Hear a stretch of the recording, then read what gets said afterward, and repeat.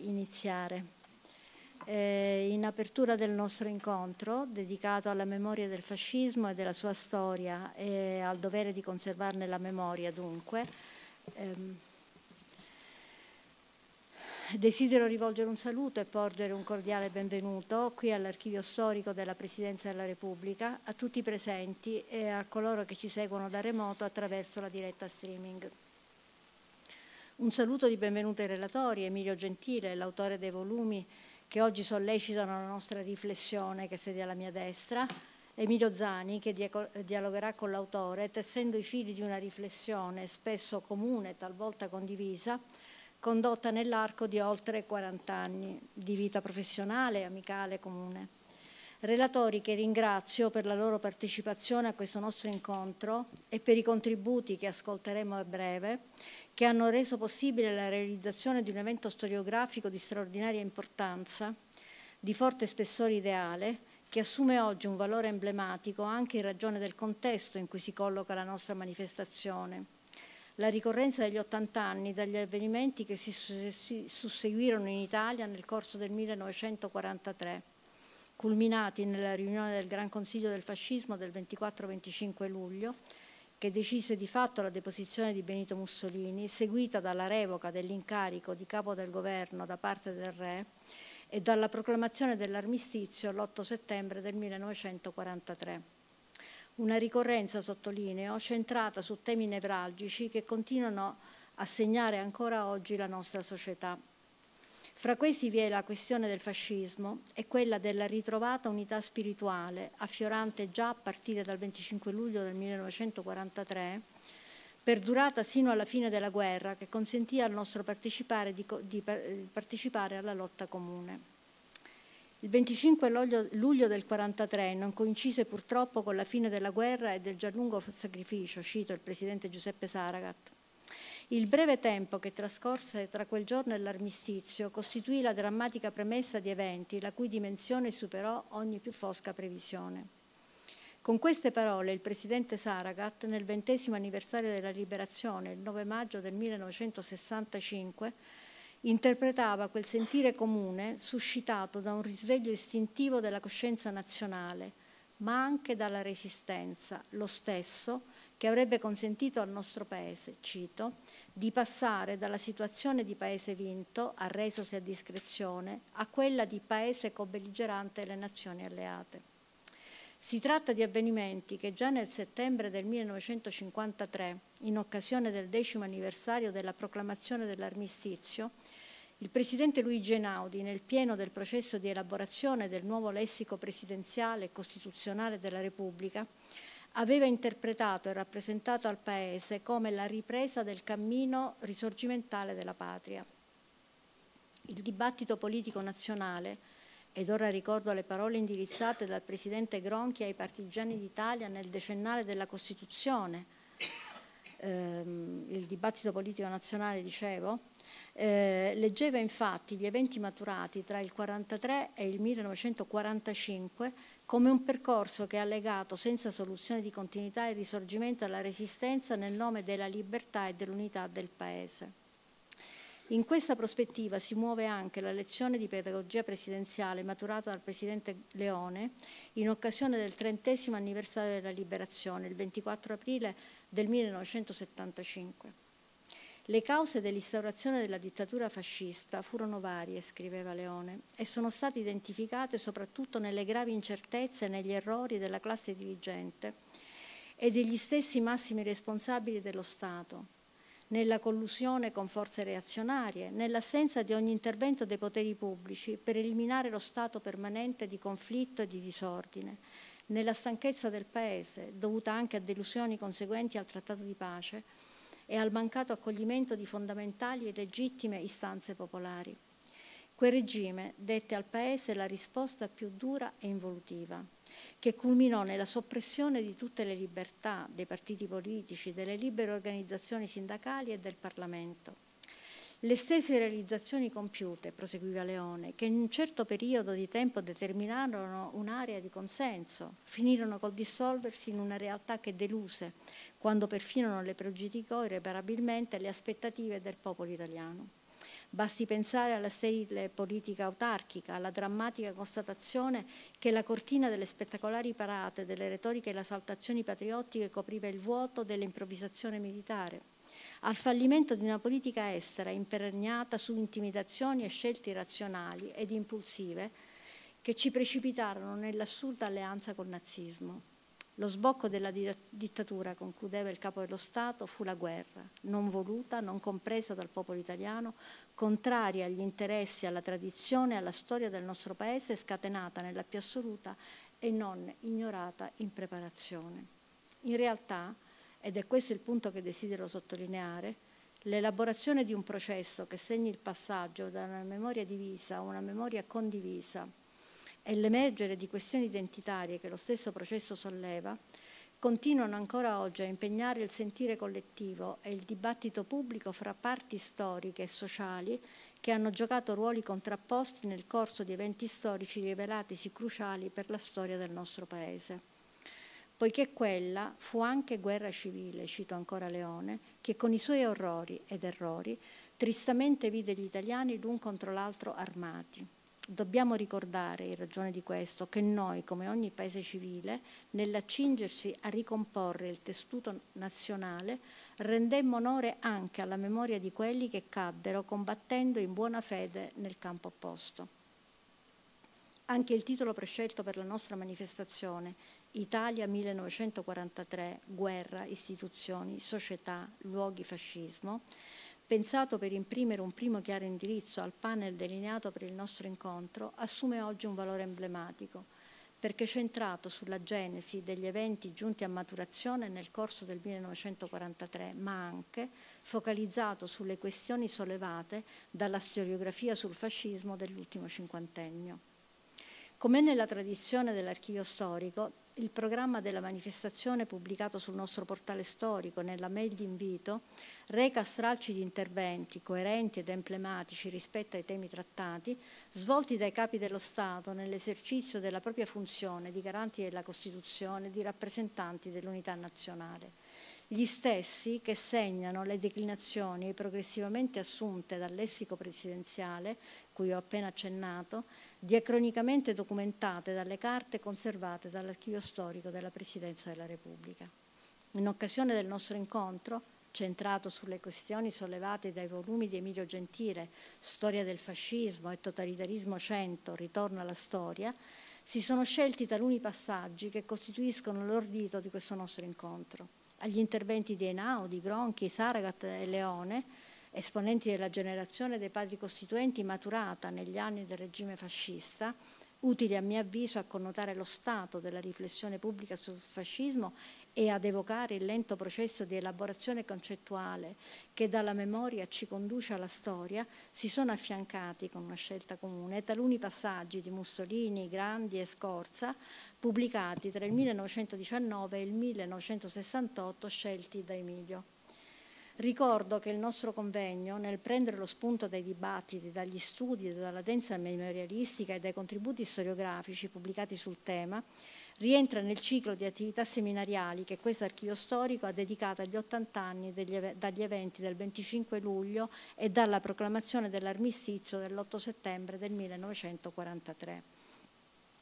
Si tratta di un ciclo di incontri e oggi si svolge il quarto dei nostri incontri, intesi a ripercorrere idealmente il lungo itinerario che condusse il nostro Paese alla liberazione, lungo un percorso che vide nascere dalle rovine della guerra una nuova e diversa Italia che troverà i suoi compimenti il 2 giugno del 1946 con la scelta della Repubblica e il 1 gennaio del 1948 con l'entrata in vigore della Costituzione di cui quest'anno si celebrano i 75 anni.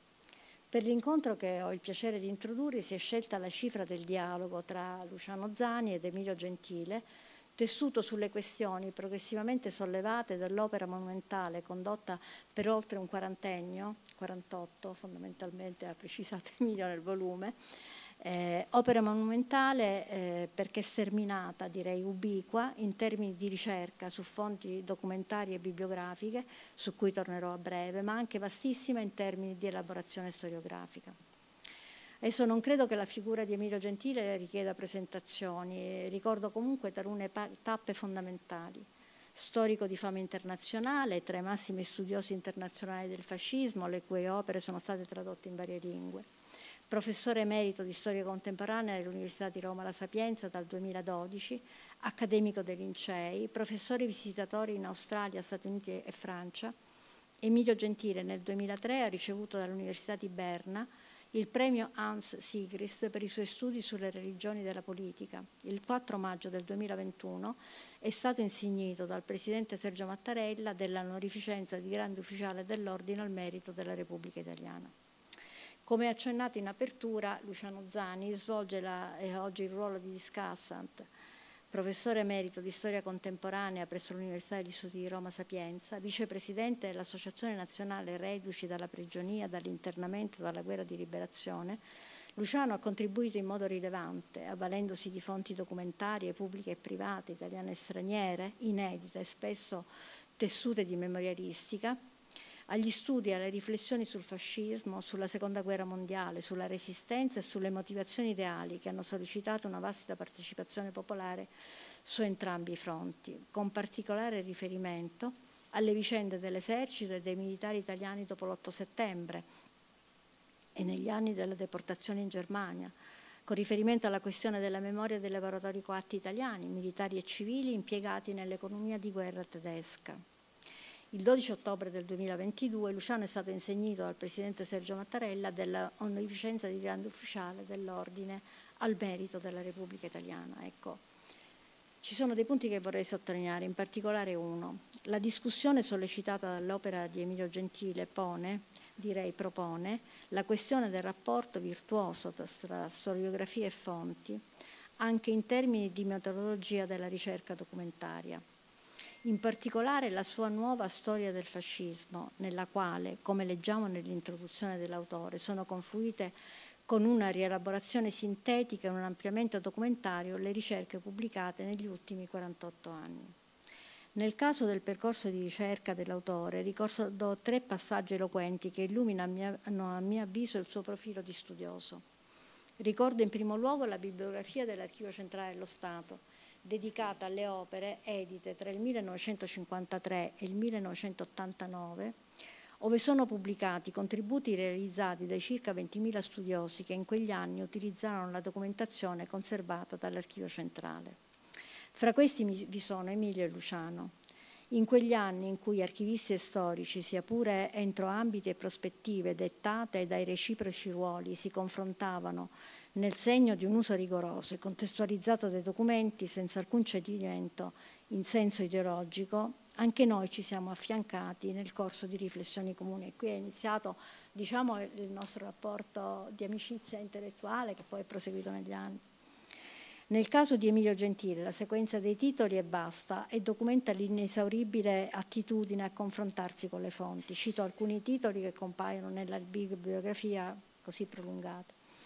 Prima, il primo articolo è La voce l'età giuriziana del 72, Le origini dell'ideologia fascista nel 75, La politica di Marinetti, Storia contemporanea del 76, eh, l'edizione del carteggio di Giustino Fortunato, perché diciamo, per ogni titolo edito la bibliografia dell'archivio centrale ricostruisce tutto il percorso di ricerca, tutte le fonti consultate, ancora la voce Alfredo Rocco, in uomini e volte del fascismo a cura di Ferdinando Cordova del 1980 e poi proseguendo negli anni 80 i lavori dedicati alla crisi del socialismo e alla nascita del fascismo nel Mantovano, Giovanni Giuriati, il mito dello Stato Nuovo, eh, e quindi fondamentalmente eh, mh, andando avanti ancora il problema del partito nel fascismo italiano e la natura della, e la storia del PNF in Italia, contem- storia contemporanea dell'85, anche perché storia contemporanea assolse un compito di pubblicazione di tutta una serie di lavori di quella generazione. In secondo luogo, ancora in tema di metodologia della ricerca documentaria, attenta a saper vedere le tracce, perché ciascuno di noi poi individua nei lavori che legge quello che è il percorso eh, che lo sottende più affine alla propria formazione, ecco, essere attenti a vedere le tracce.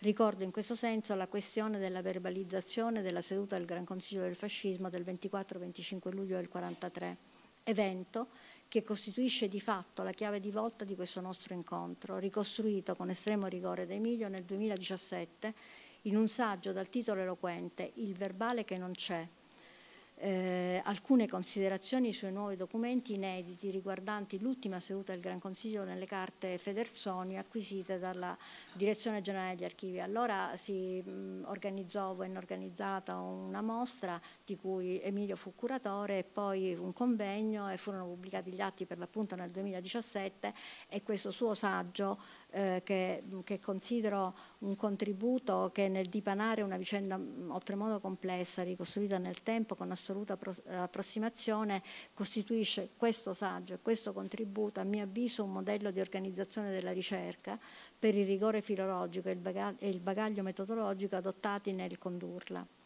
Le carte appartenenti all'archivio personale di Federzoni, uno dei più autorevoli protagonisti del ventennio fascista, ricordavano infatti l'ultima seduta del Gran Consiglio iniziata a Palazzo Venezia alle 17.15 del 24 luglio del 1943 e terminata alle 2.30 del giorno successivo, ove per volontà di Mussolini non era stato redatto un verbale ufficiale della seduta ed Emilio, diciamo in una maniera assolutamente puntuale, precisa, capillare, eh, filologicamente impeccabile, ricostruisce interventi, precisazioni, cioè è veramente eh, un modello.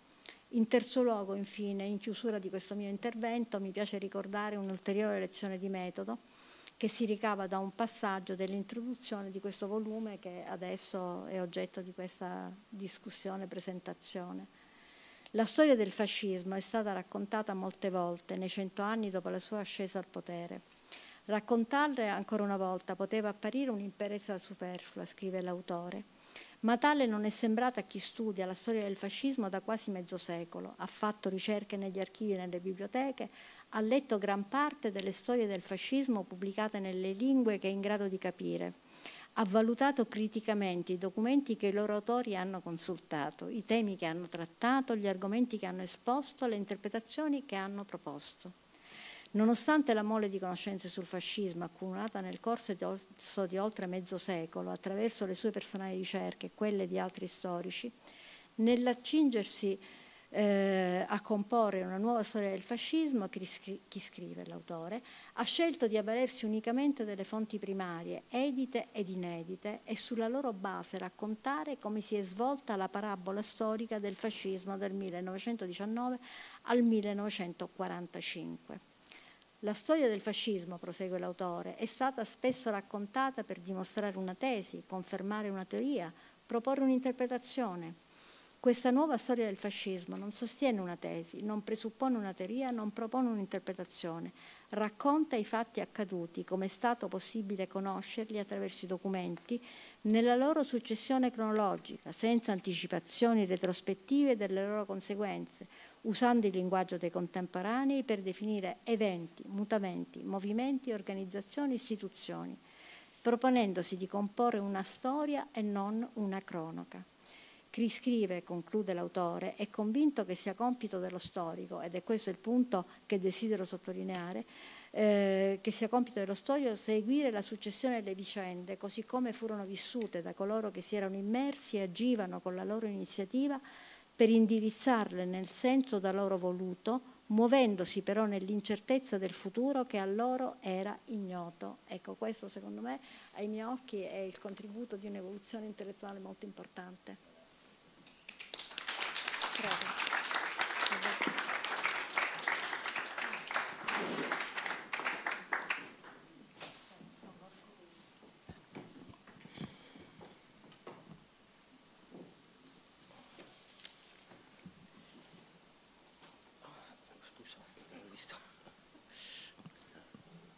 Allora procediamo.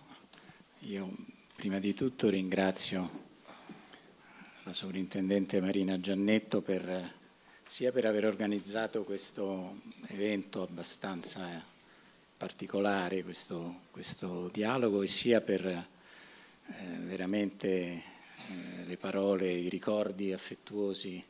Eh, eh, che, di quando ci siamo conosciuti all'Archivio Centrale dello Stato. E la ringrazio anche eh, di aver messo a disposizione di tutta la sala quelle bottiglie d'acqua che vedete ai due angoli perché immagino che vederci bere qui ogni tanto per chi è venuto col caldo eh, e ovviamente ringrazio tutti i presenti perché veramente è stato eroico, ecco, cominciamo a usare termini che poi ricorreranno probabilmente, è stato eroico venire in una giornata così calda eh, qui. Eh, vi dico anche che eh, io ed Emilio eh, abbiamo riflettuto tre secondi su questo, ci daremo del tu, perché eh, l'idea è di, eh, ci conosciamo da, da, circa 50 anni e l'idea è quella di riprendere dialoghi che abbiamo cominciato appunto in tempi lontani per molti anni, per circa 11 anni, andando insieme in macchina nostra, a quella che è stata la nostra prima università, l'Università di Camerino, per poi ritrovarci parecchio tempo dopo in Sapienza e insieme in macchina che cosa volete che potevamo fare? Potevamo ovviamente dialogare e discutere di questi, di questi temi. Eh, è Emilio che mi ha fatto pensare al fatto che eh, lui ha dedicato allo studio della storia del fascismo, che è durato, eh, diciamo, a seconda di dove lo si voglia far cominciare, circa 25 anni, la metà del tempo che il fascismo è durato. E, e, e, devo dire che a quel punto anche io ho riflettuto sul fatto che pur facendo anche tante altre cose, per 50 anni mi sono dedicato a questi problemi e questo mi sembra una cosa eh, interessante. Il meglio e anche con delle cose nuove, o almeno che a me sono parse nuove, io poi rischierò di farmi rimproverare da, da, Emilio, perché secondo me ci sono qui anche alcune cose che io non ricordavo di aver letto in libri precedenti, e, dirò a costo di sbagliarmi.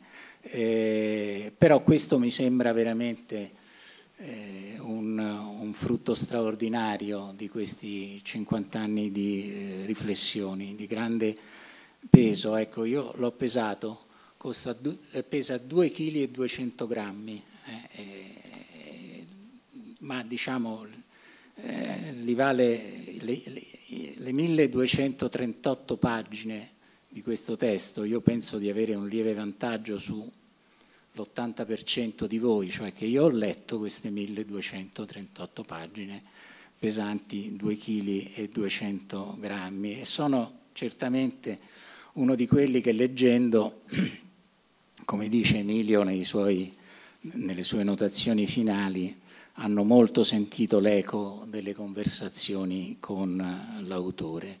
Noi parleremo della storia del fascismo, non dell'Italia fascista, la storia del fascismo. E quella storicamente determinata da date che si concludono nel 43 o nel 45 a seconda di dove volete, volete farlo finire. Per cui se a qualcuno, in base a qualcosa che noi diremo, fischiassero le orecchie, tipo quando uno di noi magari dovesse dire che Mussolini sostenne la fiamma non è soltanto bella, ma è fascista per definizione. Eh? Ecco, tappate, smettete di farvi fischiare le orecchie, noi parliamo di episodi, fatti finiti, eh, compiutamente e storicamente determinati e conclusi nel 1945. Eh, io trovo necessario dirvi, l'ha già detto in parte Marina, ma insisto perché questa è una questione ed è una lezione di metodo che io anch'io trovo come Marina assolutamente eh, straordinaria. Cioè cosa ha fatto Emilio con questo libro? Che tra l'altro io ho letto anche perché mi è parso in un, una certa misura il, il completamento, anche per come è scritto, de, di una storia del partito fascista, movimento e milizia che eh, Emilio aveva scritto parecchi, molti anni fa. Ecco, ha detto di voler operare eh, come un inviato speciale.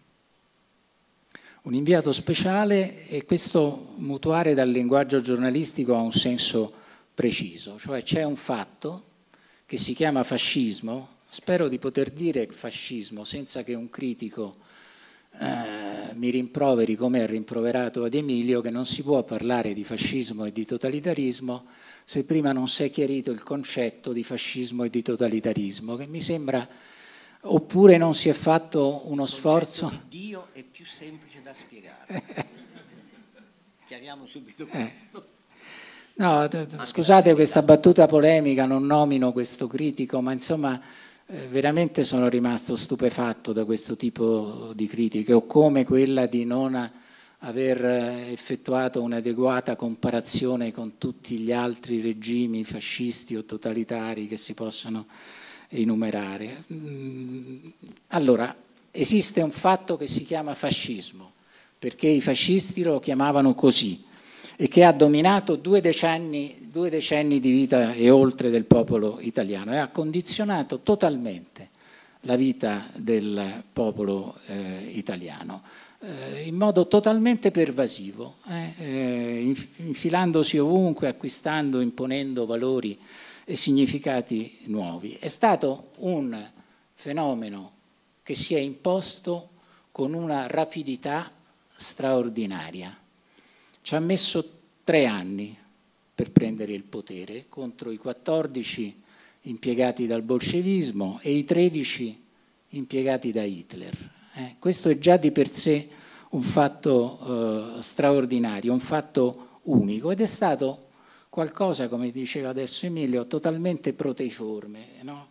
Eh, ha avuto una enorme quantità di metamorfosi. Stasera non so quanti, certo non le potremo prendere tutte in considerazione, è stato antipartito, è stato partito milizia, partito di governo, partito grande pedagogo, regime totalitario, Stato imperiale e razzista, monarchia alleata e sconfitta, repubblica alleata occupata dall'alleato, i tedeschi. È stato un sacco di cose.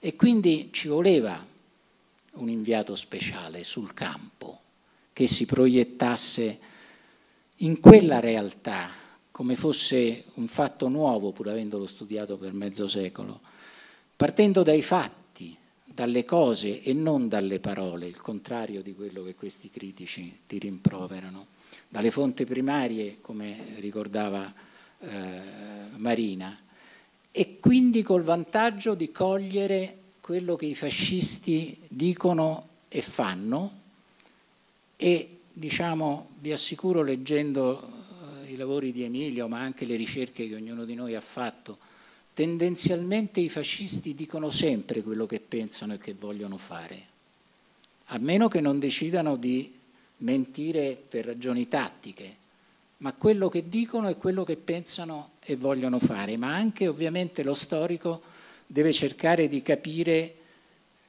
cosa non dicono e perché non lo dicono e questo lo può fare solo un inviato speciale che si è, recato sul, sul campo. Quindi ha potuto vedere da vicino gli eventi, i cambiamenti, le organizzazioni, i movimenti, le istituzioni, i miti.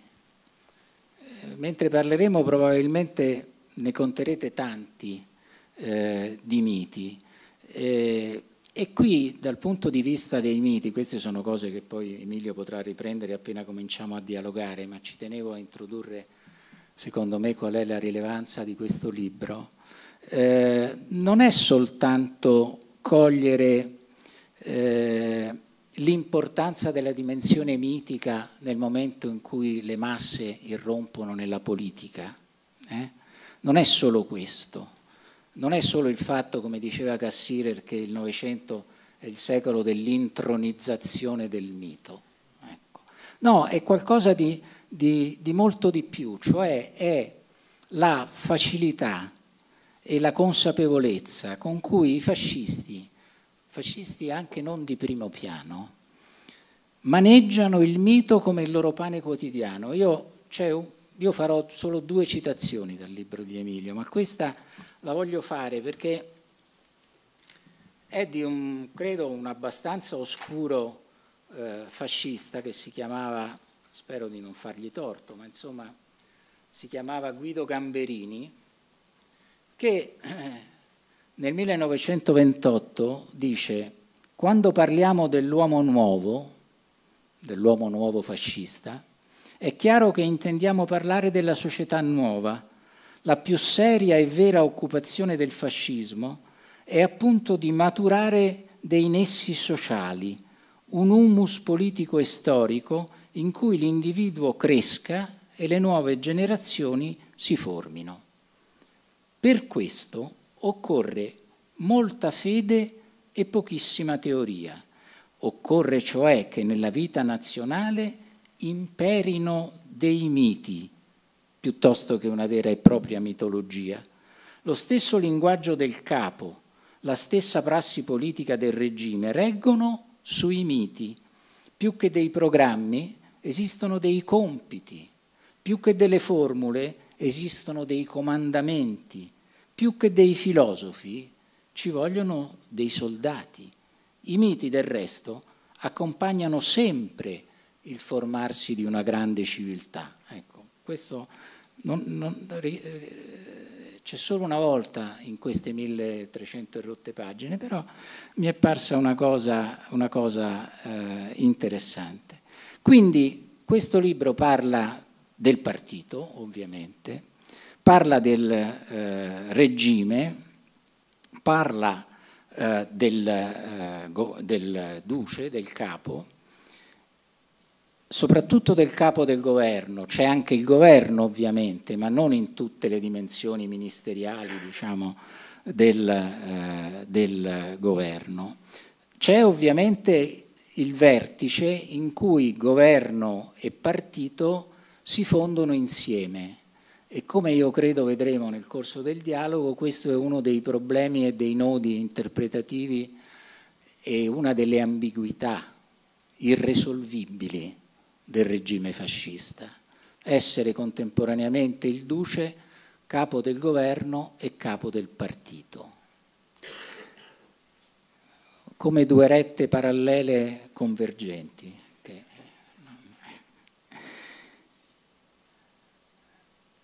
Ovviamente Emilio ci dice quali sono stati gli ideatori, gli artefici, gli esecutori, i collaboratori di tutto questo, tutti quelli che hanno nuotato eh, nell'acqua della società italiana in tutte le sue componenti mobili e immobili e che operavano un po' come ha fatto l'inviato speciale che gli è andato vicino, eh, senza sapere come sarebbe andata a finire.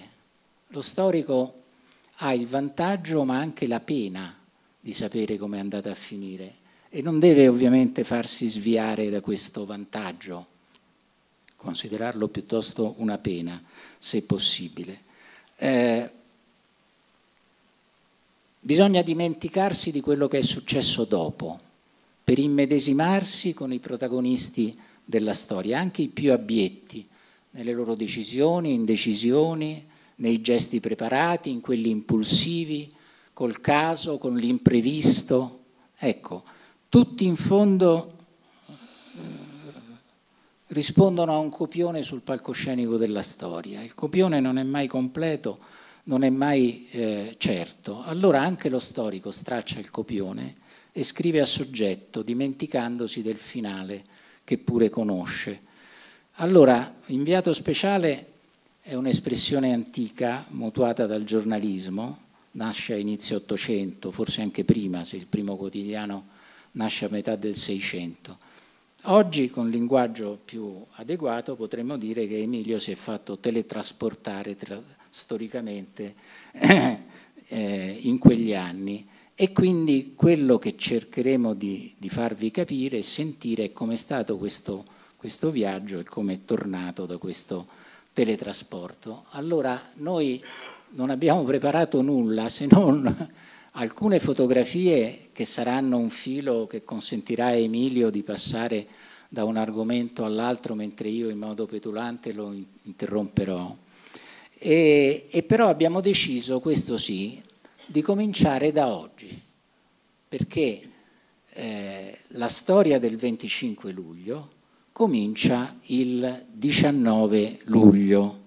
Allora io su questo voglio ovviamente che sia Emilio che ha scritto più volte di questo tema, come ricordava anche Marina, ci racconti questa storia. Io voglio solo dire per provocarlo che quello che mi è parso di capire è che, che la, le ricostruzioni e le fonti del 25 luglio sono tutte da prendere e buttare nel cestino, più o meno quasi tutte, della carta straccia, perché eh, raramente ci sono state più interpretazioni a posteriori per rifarsi una verginità politica da parte dei quasi tutti i partecipanti al Gran Consiglio del 25 luglio e, e quindi non, e, e ovviamente l'idea che se n'è fatta dopo è invece molto legata a queste vere e proprie bugie. Quello eh, che mi è parso di capire è che alla fin fine, non so poi su questo Emilio cosa pensi, ma che tutto sommato il 25 luglio eh, del Gran Consiglio è eh, un evento relativamente più marginale rispetto a quello che succede nel pomeriggio del 25 luglio col re che, arresta, che riceve Mussolini e poi lo arresta. Eh? E i due fatti sono tra loro assolutamente non concatenati, anche se poi il Gran Consiglio col suo ordine del giorno è diventato un elemento invece giustificativo di quello che è successo il pomeriggio del 25. E quindi il nodo storicamente rilevante è il colpo di Stato del re e dei massimi vertici militari, mentre un Gran Consiglio che era stato con piena consapevolezza eh, preparato e soprattutto convocato per iniziativa del segretario del partito, eh, è chiaro che eh, non è stato quello che poi i suoi massimi eh, evocatori nelle loro memorie grandi, Bottai, Federzoni è diverso, questo ce lo dirà Emilio, hanno provato a eh, ricostruire eh, mentendo. Allora, partiamo dal 19 luglio. Beh, innanzitutto una brevissima premessa per ringraziare, eh, uso, uso il, i nomi dell'amicizia, Marina e Luciano, per quello che hanno detto,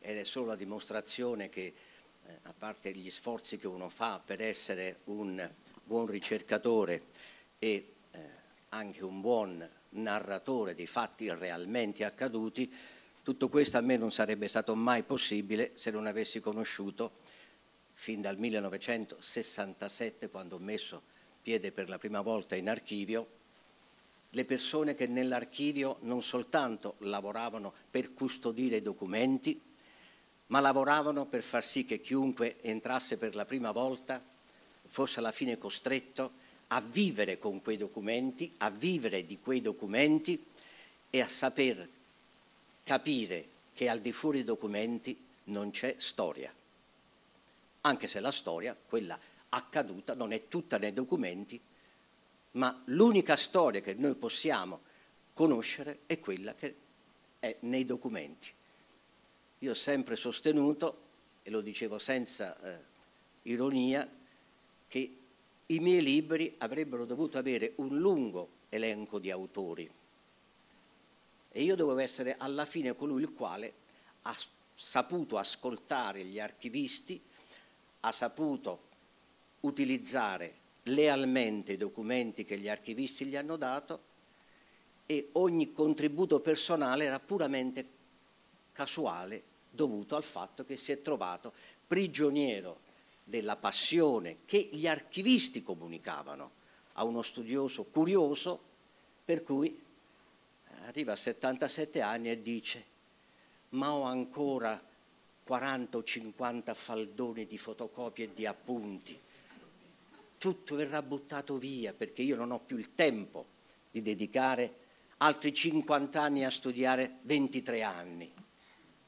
Quindi, eh, e con Luciano eh, la frase finale di ringraziamento che io rivolgo a tutti quelli che in questi 40 anni, 50 anni hanno contribuito a farmi lavorare sempre in una maniera più responsabile nei loro confronti prima di tutto, perché io tutte le volte che do un qualsiasi scritto ad un mio amico o una mia amica dalle quali mi aspetto proprio per l'amicizia quello che io farei a loro, se non mi piace buttalo via, te lo dico subito. E conserviamo l'amicizia, quando mi danno un parere favorevole per me è una grande soddisfazione, che non ha nulla a che fare con la vanità che mi è così congeniale come i capelli biondi, gli occhi azzurri e il metro e 95 di altezza, perché questo è veramente un lavoro che si fa con grande pena. Se vuoi cercare di capire che cosa è accaduto senza far intervenire quella ridicola sapienza postuma che tutti possono esibire e che spesso si trova soprattutto nei manuali di storia, laddove si dice fecero questo e non sapevano che poi sarebbe accaduto e imboccarono questa strada e non tenevano conto, per cui in realtà questo tipo di storico è colui il quale li farebbe le bozze pure al Padre Eterno per come ha fatto il mondo frettolosamente in sei giorni, quando se ci avesse messo sei infiniti, probabilmente qualche problema l'avrebbe evitato e non avrebbe mandato suo figlio per riparare agli errori iniziali di un uomo fatto male, di una creatura fatta male e che poi ha continuato ad essere fatta male anche per il contributo che ha dato il suo figliolo non facendosi capire bene come avrebbe dovuto comportarsi l'umanità dopo che lui aveva preso di sé tutti i suoi peccati. Lo storico, almeno come lo abbiamo abbiamo tentato di farlo, noi che ci siamo formati in una certa epoca in cui o si andava in archivio o è meglio che andavi a fare e non c'è nessuna cattiva, eh, il giornalista. Io con molta franchezza dico che il vero storico è ancora colui il quale si occupa fino alla, agli inizi dell'età moderna. Poi comincia il giornalismo serio, quello degli inviati speciali, perché sono purtroppo quelli ancora coinvolti, perché se arriviamo fino al Medioevo, ma chi è che pensa che ci sia un innocenzo terzo eterno, un catarismo eterno? E invece oggi c'è il fascismo eterno. Quindi vuol dire che probabilmente, se persino quando ci occupiamo del Rinascimento e dell'umanesimo, siamo condizionati da tutta quella pessima laicità che tuttora inquina le coscienze della fede, uno fa il lavoro onesto e fa l'inviato speciale. Poi ci sono i giornalisti cialtroni, cioè gli storici che fanno finta di essere storici e invece non sono neanche giornalisti. È chiaro che in questo il termine giornalismo ha la più alta dignità. Sono gli storici, sono gli storici che hanno il dovere di penare a liberarsi di tutte le proprie conoscenze, e cercare anche di fare un lavoro affascinante, meraviglioso, quello cioè di ripercorrere le vicende del passato sapendo che a ogni momento di ciò che stanno ricostruendo la via può essere completamente diversa, completamente diversa. E a volte basta un pazzo dalle motivazioni mai conosciute come Oswald assassinare un giovane presidente e cambiare radicalmente la storia degli Stati Uniti e di conseguenza quella del mondo. Sarebbe bastato un professore di architettura di Vienna che avesse promosso quel giovane Adolfo Hitler alla seconda prova e probabilmente la storia dell'umanità sarebbe stata completamente diversa. È inutile dire, beh, ma questo è... No, è così, è così. Seppure Dio, per chi ci crede, ha dovuto mandare suo figlio a cercare di riparare qualcosa che non aveva, non aveva funzionato, figuriamoci nella storia umana. In ogni momento, quando Mussolini decide nel dicembre del 19 di vendere il giornale e di lasciare la politica, dopo che lui, uomo sulla scena nazionale da dieci anni, da dieci anni, dal 1909, diciamo dal 12, da quando diventa il personaggio più importante del Partito Socialista, a soli 29 anni, prende meno di 3.000 voti personali a Milano, dove dal 1912 erano delle figure più popolari, più prestigiose, più autorevoli, e prende 2.400 passavoti. E a quel punto, dopo che già aveva fallito completamente nel 14 col tentativo di portare il Partito Socialista dalla neutralità all'intervento, e però riesce a recuperare con il giornale, ma che nel 1919 non, riesce ad avere più di 7.000 abbonati. Quindi nel 1919, dicembre 1919 Mussolini è un uomo consapevolmente finito e dice che a questo punto vende il giornale e allora andrà in giro per il mondo suonando il violino, scriverà drammi, aveva già un dramma pronto, un libro pronto proprio sul mito e l'eresia e lo dice alla sua amante che poi lo, lo rivela alcuni anni dopo nella biografia a Margherita Saffatti e che non fossero delle millanterie inventate dopo è il fatto che lui invece di rimanere in Italia a ricomporre i pezzi di un partito di un movimento che nel 1919, 31 dicembre, ha 800 iscritti in tutta Italia. Chi avrebbe mai immaginato? che 800 iscritti in tutta Italia, un anno e mezzo dopo, sarebbero diventati 300.000 e il partito dominante con le armi nella scena politica nazionale. I suoi ex compagni socialisti dicono sembra che sia affiorato dal naviglio un cadavere, potrebbe essere quello di Benito Mussolini. Viene annunciato addirittura un numero speciale perché nelle collezioni degli Avanti, dell'Avanti che sono nelle nostre biblioteche, non si trova, però è certo che fu lei, perché fu un'edizione speciale fatta dall'Avanti in cui misero questo trafiletto che avevano ritrovato un cadavere, un cadavere, in stato di avanzata decomposizione nel naviglio, pare che sia quello di Benito Mussolini. E lui si sentiva tale, tant'è vero che tratta con Ettore Conti e con altri industriali per partire e farsi fare l'inviato speciale in un viaggio con Luigi Barzini in Estremo Oriente. Quindi da questo punto di vista, se lo storico non fa questo grande sforzo di capire com'è possibile che un uomo che sta lasciando tutto perché per la seconda volta subisce una totale sconfitta della sua ambizione, poi piano piano, ma neanche rapidamente, risale la china.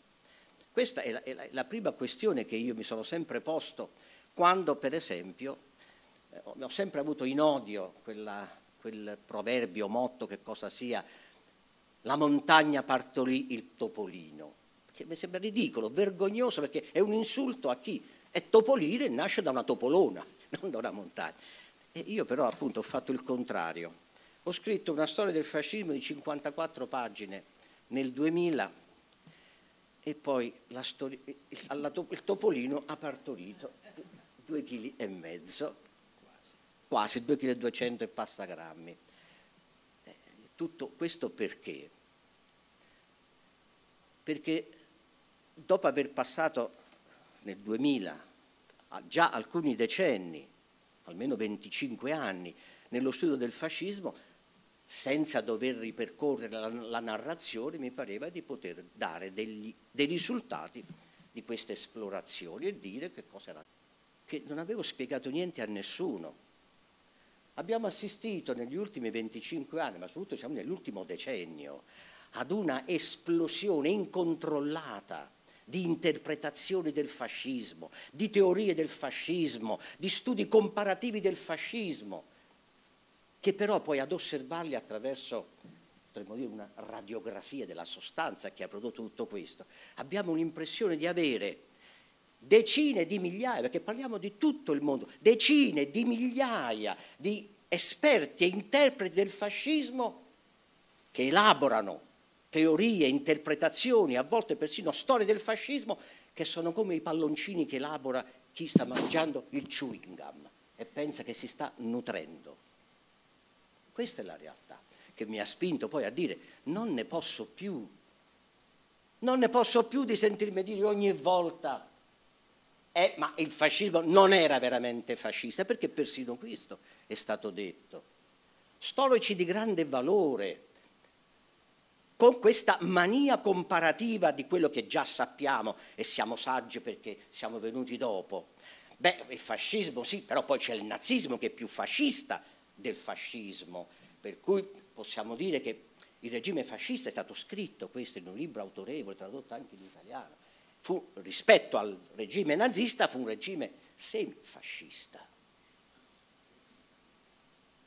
Lui poi ha accennato, se poi entriamo in quell'orribile selva oscura che è il totalitarismo, Dio ce ne scampi, Dio ce ne scampi quante stupidaggini sono state dette semplicemente perché si ignorava la cosa più elementare che dovrebbe essere il primo elemento di conoscenza. Dove, quando e come è nato il termine totalitario e totalitarismo. E poi sono scritti centinaia, forse migliaia di libri di interpretazione del totalitarismo senza sapere da cosa aveva avuto origine questa parola, quando e come. Allora uno si domanda, ma c'è qualche cosa proprio nel fascismo di peculiare, Luciano, che lo rende così complesso più di qualsiasi altro fenomeno per cui 23 anni di fascismo hanno lasciato il loro marchio nella coscienza dell'Italia, dell'Europa e del mondo più di 62 anni di regime liberale, più di 77 anni di regime repubblicano. Ma è possibile che esista il fascismo eterno e ahimè non c'è il liberalismo eterno, cioè quello deve morire. L'anarchismo eterno, il comunismo eterno. Cioè vi rendete conto che oggi, a 80 anni dalla fine del regime fascista, e a oltre 102 anni della nascita della parola fascismo nel campo del dizionario politico, noi ci stiamo ancora ad accapigliare appunto, ma il fascismo aveva una, le profonde filosofiche domande, ma c'era un'ideologia fascista, c'era un'economia fascista, c'era una cultura fascista. No, vedi, vedete, su questa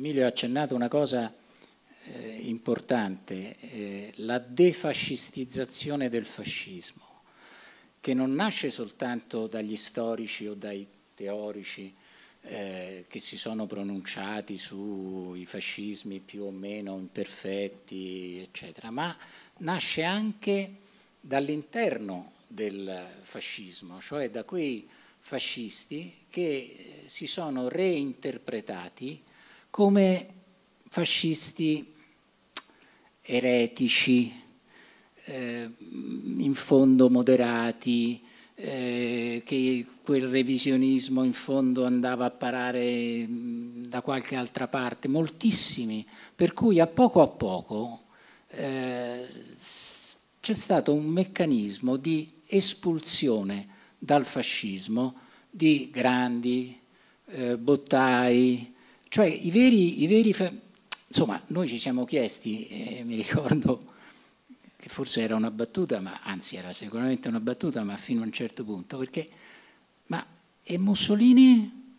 Cioè Mussolini era, con quel suo passato di socialista rivoluzionario, forse anche lui tanto fascista non era. Allora questo per farvi capire l'assurdità no? di questo tipo di ragionamenti. Nel fascismo L'altra cosa che viene fuori da questo libro è che, a proposito dell'ideologia fascista, viene fuori in controluce un fervore di iniziative giornalistiche, testate quotidiane, testate periodiche, eh, enti culturali, ma assolutamente straordinarie. Cioè l'ideologia fascista, eh, voglio dire, si, si, regge su un tessuto eh, culturale ampio eh, che, che, voglio dire, è impressionante, da, viene fuori da quello che... Però io non ho dimenticato eh, il tuo primo tema, il 19 luglio, ah, sì. ma questa premessa era necessaria perché tutto ciò di cui eh, prima inorridivo, cioè questa selva di palloni usciti dalla chewing gum, poi magari hanno pure il titolo accademico, pure, cioè di questi che producono, producono interpretazioni, confronti, storia comparativa, senza macinare neanche un documento o limitandosi a consultare libri i cui documenti risalgono alle opinioni, per esempio come di quelli che tuttora, eh, comparso sul giornale ieri o l'altro ieri, raccontano la ultima seduta del Gran Consiglio e le battute finali in cui Mussolini dice voi avete provocato la crisi del regime. È vero, l'ho scritto e ne sono convinto, il fascismo ha sempre detto esplicitamente ciò che voleva e quando lo nascondeva faceva peggio di quello che aveva detto perché raddoppiava quello che aveva già detto. Dal 19 luglio 1943 inizia la sistematica opera dei fascisti più importanti di mentire sistematicamente. Ai fascisti è mancato sempre il, coraggio o la capacità della verità, tant'è vero che non esiste una storiografia fascista che abbia la dignità di una storiografia non condizionata dalla mitologia fascista. Non mi si può citare Gioacchino Volpe, che era un grande storico prima di diventare fascista e che sicuramente le sue opere da storico fascista non sono le più eccelse che lui abbia scritto. Ma il 19 luglio in queste ore Mussolini sta tornando da Feltre, no, no non credo che sia il mio perché no, no. gli ho tolto la voce, eh, se no io proprio faccio a parlare. E poi il suggeritore non serve in questo caso perché c'è Luciano che è troppo severo.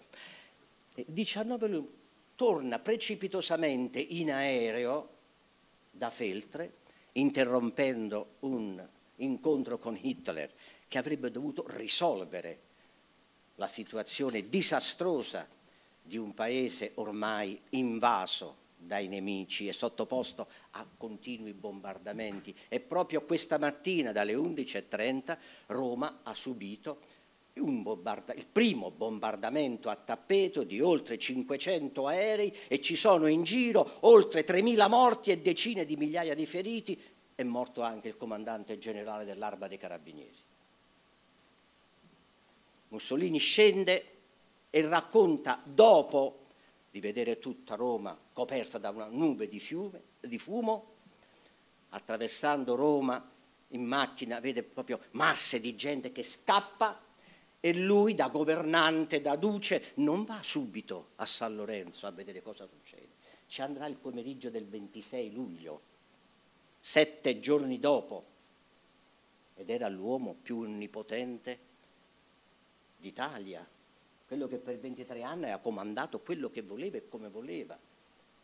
No, perché lui a questo punto c'è il problema che aveva subito la pressione tre giorni prima, il 16 luglio, del segretario del partito e di altri gerarchi che si recano da lui per dirgli adesso smettiamola con questo potere totalitario concentrato nelle tue mani condividi la responsabilità delle tue scelte e delle tue decisioni con noi e, e dici cosa facciamo.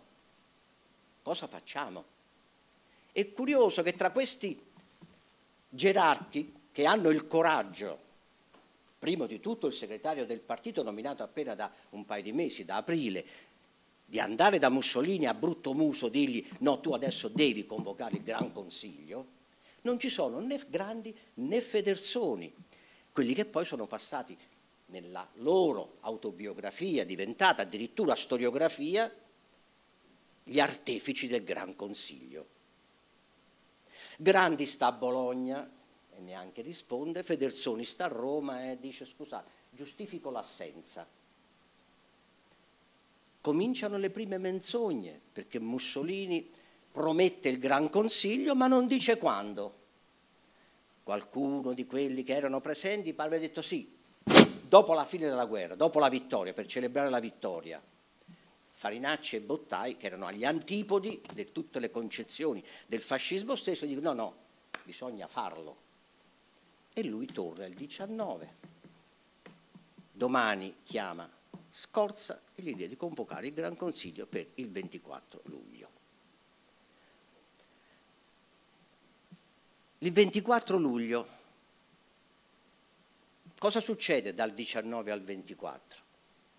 Niente di straordinario, nel senso che giunta la convocazione, con la prescrizione indossata alla Sariana, eh, cioè un bombardamento a tappeto di 500 aerei su Roma, il segretario del partito ci tiene, perché anche questo fa parte della storia, perché quando Mussolini riceve questi gerarchi e segretari del partito il 16 luglio e ognuno era andato vestito come si trovava al momento, perché fu tutta una riunione improvvisata e una visita improvvisata a Mussolini. Mussolini poi era arrabbiatissimo. Ma chi sono questi cialtroni, chi addirittura quasi in pantaloncini corti, chi senza la divisa? Cioè, anche per Mussolini la cosa importante è che questi gerarchi che avevano avuto in mano il destino di milioni di italiani, dovevano andare da lui eh, dignitosamente vestiti, per cui si prescrive la sariana. Da quel momento non c'è nessuna congiura, non c'è nessun complotto. Grandi arriva piuttosto tardivamente, il 20, poi lì cominciano gli imbrogli, Grandi in un libro dice il 20, in un diario dice del 21, cioè tutte scritture simultanee e però questo simultaneamente non sapeva se a Roma c'era arrivato il 19, il 20 o il 21. E da lì cominciano tutti i pasticci. Ho incontrato Tizio e Caio e io gli ho detto portiamo l'ordine del giorno. Poi Tizio e Caio nel suo diario scrive ho visto grandi, oppure non ho visto grandi, oppure ho visto grandi, mi ha dato un papier, tre pagine di ordine del giorno, ma va, va modificato ed è Bottai. Poi Grandi va dal segretario Scorza e gli porta una stesura Ovviamente grande sua memoria ci dice che lui questa stesura ce l'aveva addirittura fin dal 1941, dalla guerra di Grecia, che l'aveva fatta vedere anche a Bottai, lui dalla guerra di Grecia. Chiedeva la convocazione del Gran Consiglio e la sostituzione di Mussolini. È solo che se poi leggiamo le lettere che Grandi scrive a Mussolini durante la campagna di Grecia, Duce, qui c'è il vero fascismo, Duce qua, Duce là, e fino al 42, all'aprile 42, nel presentare il nuovo codice civile al re. La cosa che salta di più era la tutela della famiglia ariana, la purezza della razza. Codice al quale avrebbe collaborato anche Calamandrei, ma forse queste pagine gli erano sfuggite. Grandi che nel 1941 fa ripubblicare un articolo in cui inneggia alla nuova civiltà germanica, ai due grandi popoli, alle due grandi rivoluzioni. Bottai non dice affatto che lui ha incontrato Grandi nel 1941 e Grandi gli ha fatto vedere l'ordine del giorno o gli ha parlato di un ordine del giorno, anzi gli ha detto io Mussolini vuole che rimanga governatore della Grecia, ma io me ne vado a casa. L'altro è Federzoni. Eh, Federzoni dice ci fu un conciliabolo, racconta, un conciliabolo di gerarchi, sbaglia la data, il 19 e invece era il 16 ma quello è un conciliabolo, è stato pure invitato e ha rifiutato. Da quel momento esiste tutta una letteratura sul Gran Consiglio che ahimè è stata recepita, nonostante il rigore che aveva nella valutazione delle fonti, persino da Renzo De Felice, soprattutto le varie stratificate menzogne costruite da Grandi fin dal febbraio 1945 se voi leggete la, il suo resoconto sul Gran Consiglio a febbraio del 1945 su Life, Ah, lui dice che Mussolini è infuriato, minaccia di farli fucilare, eh, non gli impedisce di parlare, gli urla contro, smettila, non te lo permetto. Poi nella versione che farà qualche anno dopo, nel 1946, tutto si svolse in maniera calma, Mussolini mi ascoltò attentamente, beh, insomma, è possibile che questo Mussolini, a seconda della testimonianza dello stesso testimone, pote... è, è, vero che era, che era un fregoli, e passando da anarchico a socialista, poi fascista, eh? però non è che lo poteva fare davanti alla stessa persona in maniera così immediata. La menzogna però che inizia il 19, quando tutti quanti, invece di dire cosa facciamo per salvare l'Italia, discutono su cosa facciamo del fascismo, cosa facciamo del regime, cosa facciamo dei ministeri. Avevano la possibilità di chiederlo dal 1939, sono stati tre anni senza chiedere che si riunisse il Gran Consiglio.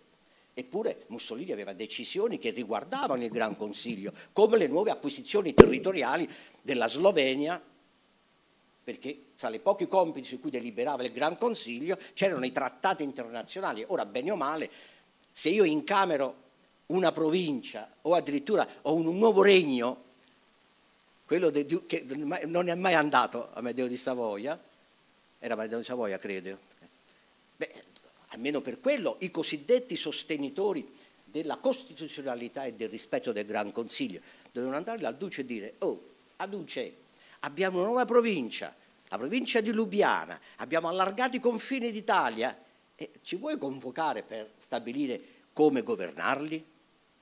E non lo fanno, non lo fanno. Però tutto comincia col primo mentitore, Benito Mussolini. Il primo mentitore è Benito Mussolini, il quale fa il primo resoconto pubblico della seduta del Gran Consiglio, risalendo al 19 luglio, quando io arrivo a Roma, eccetera, devo trovare una soluzione, racconta a modo suo come si sono svolti questi preludi del Gran Consiglio, in cui comunque lui viene informato di tutto.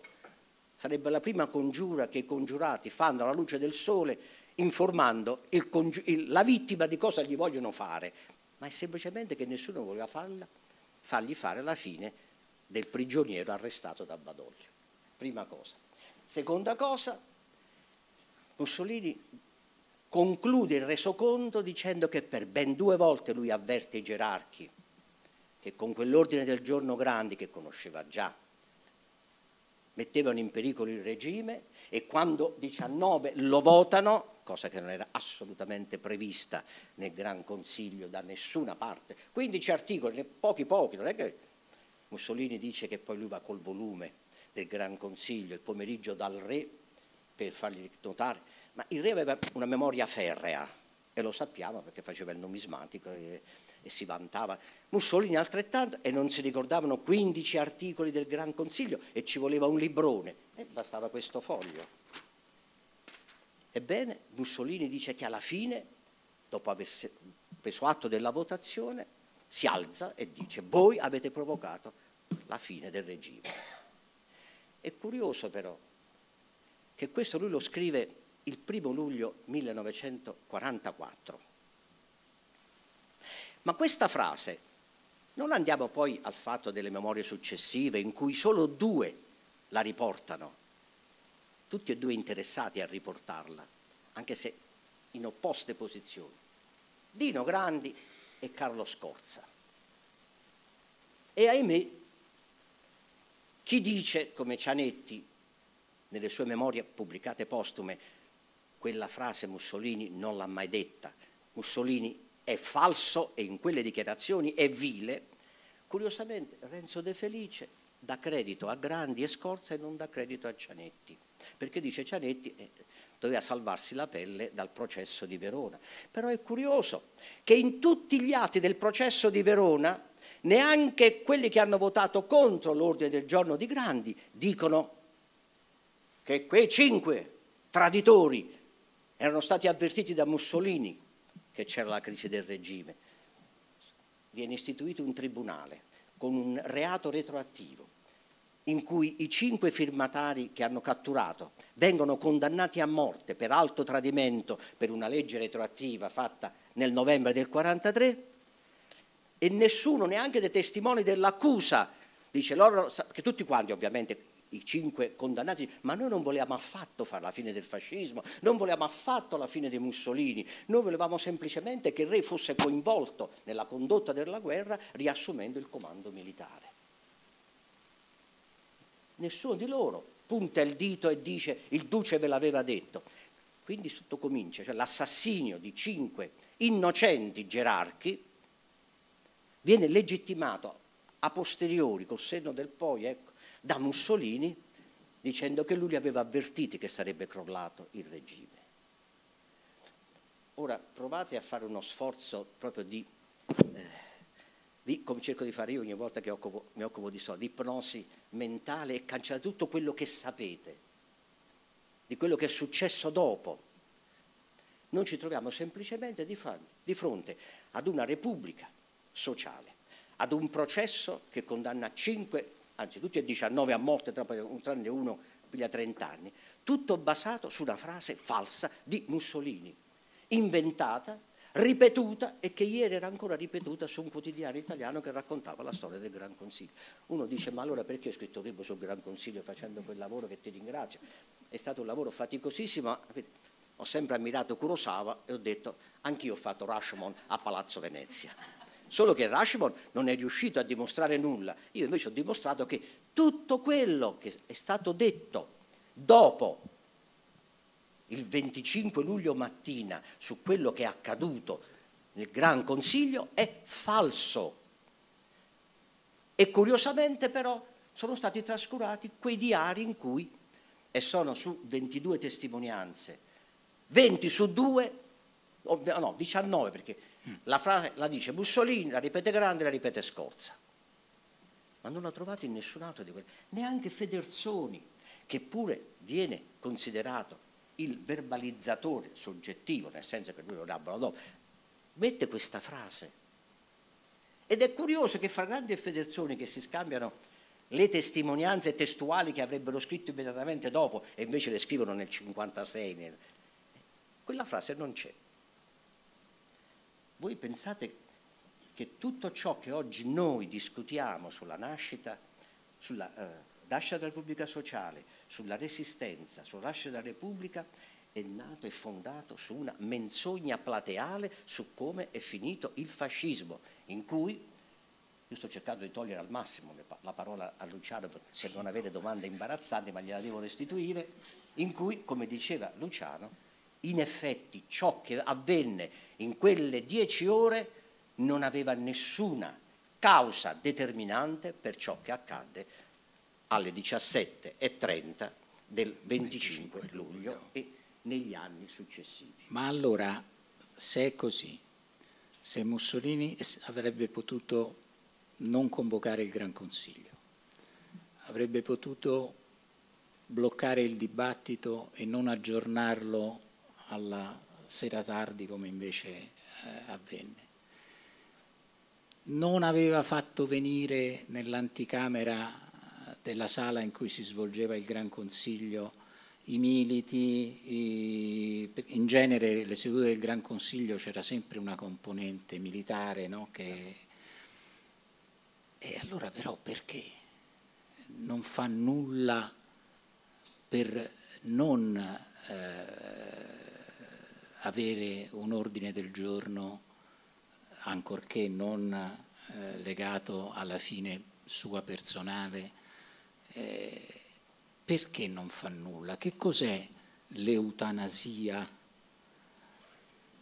L'eutanasia politica di Mussolini è la politica conseguenza di, di 23 eh, anni di incontrastato cesarismo totalitario. La frase la uso io, ma la usa Grandi, la usa Federzoni, cioè la cosa più curiosa è che tutti coloro i quali poi si sono attribuiti l'atto la, eroico, bombe, fucili, fucilazione, eh, cioè Grandi e Federzoni, riportano come loro discorsi in sede di Gran Consiglio una analitica, sistematica, metodica accusa del regime totalitario. Lo chiamano così, solo che lo fanno nascere nel 1932 e ne attribuiscono responsabilità a Starace. Ora, il totalitarismo lo inventano come concetto e come parola gli antifascisti fin dal, aggettivo prima, fin dal 1923-25, prima della instaurazione del regime a partito unico, perché si riferivano ad una cosa molto reale, che era la presenza di un partito milizia, legalizzato addirittura come milizia volontaria per la sicurezza nazionale, con il compito di difendere la vittoria e gli sviluppi della rivoluzione fascista, che operava in maniera arbitraria in uno Stato che in quel momento, dal 1923 al 1900, fine 1924, è ancora apparentemente legato alla presenza di partiti, alla presenza di giornali, alla presenza di un Parlamento con una maggioranza parlamentare. soltanto che tutti questi, se non erano obbedienti al fascismo, erano perseguitati sistematicamente dal primo novembre, poi fino al novembre 1922, fino al 16 novembre 1926, quando viene chiusa definitivamente ogni forma di libertà. Sono gli antifascisti che dicono che dal momento in cui Mussolini prende il potere comincia la demolizione attraverso la persecuzione di tutte le libertà dello statuto e ovviamente della, di quella che era ancora una monarchia costituzionale parlamentare. Questo dura attraverso tutte le vicende che io racconto e delle quali però do sempre la esatta collocazione del momento in cui tutto poteva saltare e prendere un'altra direzione, se ci fossero state le persone capaci di agire o reagire, ma ci sono momenti nei quali proprio quelle persone mancano oppure non hanno successo, tipo l'attentato Zaniboni, cioè non riescono a ammazzare Mussolini, eppure fortunato. Uno dei tre, eh, certo. Ma tutto quello che succede dopo, per tutti i successivi 21 anni, fino a luglio del 43, è tutto concentrato nelle mani di Mussolini, che è il perno di una ruota, dove però i raggi sono tutti come in una ruota, obbedienti e si muovono come si muove il perno. O viceversa, perché non si può fare di Mussolini l'unico responsabile, il perno gira secondo tutto il cerchio, perché Mussolini, nonostante le immagini che lui stesso dava, dipendeva molto da come funzionava la macchina del regime nella periferia. Era assolutamente dotato di un potere arbitrario e indiscrezionale, però se voleva dire al carro di continuare a procedere in senso inverso al perno, eh, non è che lui era così convinto che l'avrebbero seguito, tant'è vero che lui fino al 26 è sempre il duce che segue, non il duce che comanda. Anche questo è un dato, un dato, che non nasce da una interpretazione, da una comparazione, nasce dalla documentazione. Uno non interroga i documenti, quella cosa infelice di un grande maestro della metodologia come Henri Marroux e come molti altri. No? Lo storico deve porre domande ai documenti, no, lo storico deve solo ascoltare cosa gli dicono i documenti, perché se cominci a porre domande, tu hai già condizionato e selezionato e adattato i documenti alla risposta che ti aspetti. Questo è purtroppo quello che normalmente accade, soprattutto sulla questione del fascismo, che nessuno aveva notato che esisteva un'ideologia fascista, nessuno aveva notato che esisteva un partito fascista, Nessuno aveva notato che Mussolini fino al 26 è il duce che segue e non il duce che guida, cioè non è lui che vuole e ottiene e determina le varie fasi che scandiscono il passaggio da un movimento di zingari a un partito armato a un regime totalitario. Lui lo accetta, lui lo asseconda, ma non prende l'iniziativa di questi passaggi. Poi le prenderà le iniziative, ma sempre tenendo conto, condizionando eh, condizionato da ciò che era anche il suo partito. Tutto eh. questo però avviene attraverso la lettura dei documenti. Se tu dici che il fascismo è un regime politico che dura 23 anni, ma gli neghi un'ideologia, gli neghi una coerenza istituzionale, gli neghi un potere effettivo, perché dici ma c'era il re, c'erano i capitalisti, c'era la Chiesa, ma scusa, ma allora perché lo chiami regime semplicemente? Era un'improvvisazione che di volta in volta, che è quello che poi, quella che chiamano la defascistizzazione, è avvenuto dopo il 1945 ad opera 46, a opera di post-fascisti e post-antifascisti. Mm. Cioè, tranne il crudele Mussolini, tranne il ridicolo Starace e un'accolita di irresponsabili criminali, il fascismo non esisteva. Lui mi regalò un libro, sono dimenticato di portarlo, del 1944, scritto da un antifascista appena liberata a Roma. Apri, sfoglia la copertina, apri il foglio, non so come si è. Il fascismo non è mai esistito.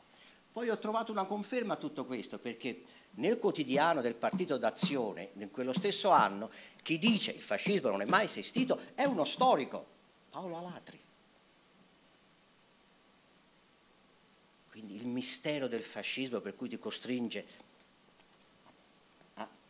far nascere un topolino e poi fargli partorire una montagna, deriva dal fatto che non esiste un fenomeno storico in nessuna epoca storica che sia passato dal non esistere all'eternità. Eh, allora vuol dire veramente che c'è qualcosa che uno storico che modestamente ascolta i documenti e non gli pone le domande, non ha capito niente. Non ha capito Quindi niente. diciamo per evadere anche la questione dell'eutanasia, è chiaro che il, no, l'eutanasia però fallam- lasciare fall- per ultimo perché... Lo lasciamo per ultimo l'eutanasia. Io direi, io direi, siccome ci sono tante questioni su cui vorrei discutere con te, non so se vogliamo cominciare anche a far vedere qualche fotografia. No, le fotografie sono semplicemente, io sono un cultore della visualità della storia perché eh, noi leggiamo i documenti, ma quelli che li scrivevano, che avevano intorno a sé, cosa vedevano? Eh, e quello è importante. Io da bambino ero follemente innamorato di Liz Taylor nel film Torna a casa Lessi, e, e, però intorno a me, all'asilo, alle elementari, alla scuola del catechismo per preparare la prima comunione, eh, a me Liz Taylor non l'ho mai viste, per cui per me eh, vivevo in un mondo squallido, c'erano belle bambine, ma non come Liz Taylor. Eh, allora forse si riesce a capire anche poi che cos'è stata l'eutanasia di Mussolini. Ecco, ecco. Sì, ma poi ci, to- ci torniamo Dove? alla fine. Ah. Cioè, uno vede questo, no, no, che quella precedente. Sì. Questo è Benito Mussolini all'età di 20 anni, nella prima foto segnaletica che gli fanno in Svizzera al primo arresto. Eh, dicevo prima che la, la Svizzera è talmente precisa e puntuale nel seguire i suoi delinquenti che questa scheda in fondo c'è Benito, 28 Benito Mussolini, morto il 28 aprile 1945 con la, con la mante Claretta Petacci. Quindi gli svizzeri, però questo ha 20 anni, sembra un animale braccato, più un mafioso di quella generazione cattiva che non di quella più elegante di adesso. E ha 20 anni, siamo nel 1903. Questo appena nove anni dopo è diventato il direttore dell'Avanti a, 20, a 29 anni, il più giovane dirigente politico dell'Italia, dei partiti politici italiani, una figura che sorpassa persino i vecchi leader, sia quelli del massimalismo, sia quelli del riformismo, tant'è vero che in occasione di un processo in cui lui viene assolto, l'Avanti gli dedica una cartolina come un santino. I suoi avversari interni, riformisti, pur condannandolo per il suo estremismo rivoluzionario, però riconoscono e lo scrivono e lo dicono che lui ormai aveva, era il capo idolatrato dalle folle, dalle masse. Treves dice ormai lui è l'eroe, il santo, il capo, eppure lo denunciavano per questo. E questo signore però noi lo vediamo. Appena due anni dopo, anzi un anno dopo, un anno e mezzo dopo, questo è a Roma all'inizio del 15, che era diventato da grande rivoluzionario, internazionalista, antimonarchico, diventa interventista, patriota e nazionalista, rivoluzionario a modo suo e viene ancora una volta imprigionato per le manifestazioni interventiste a Roma.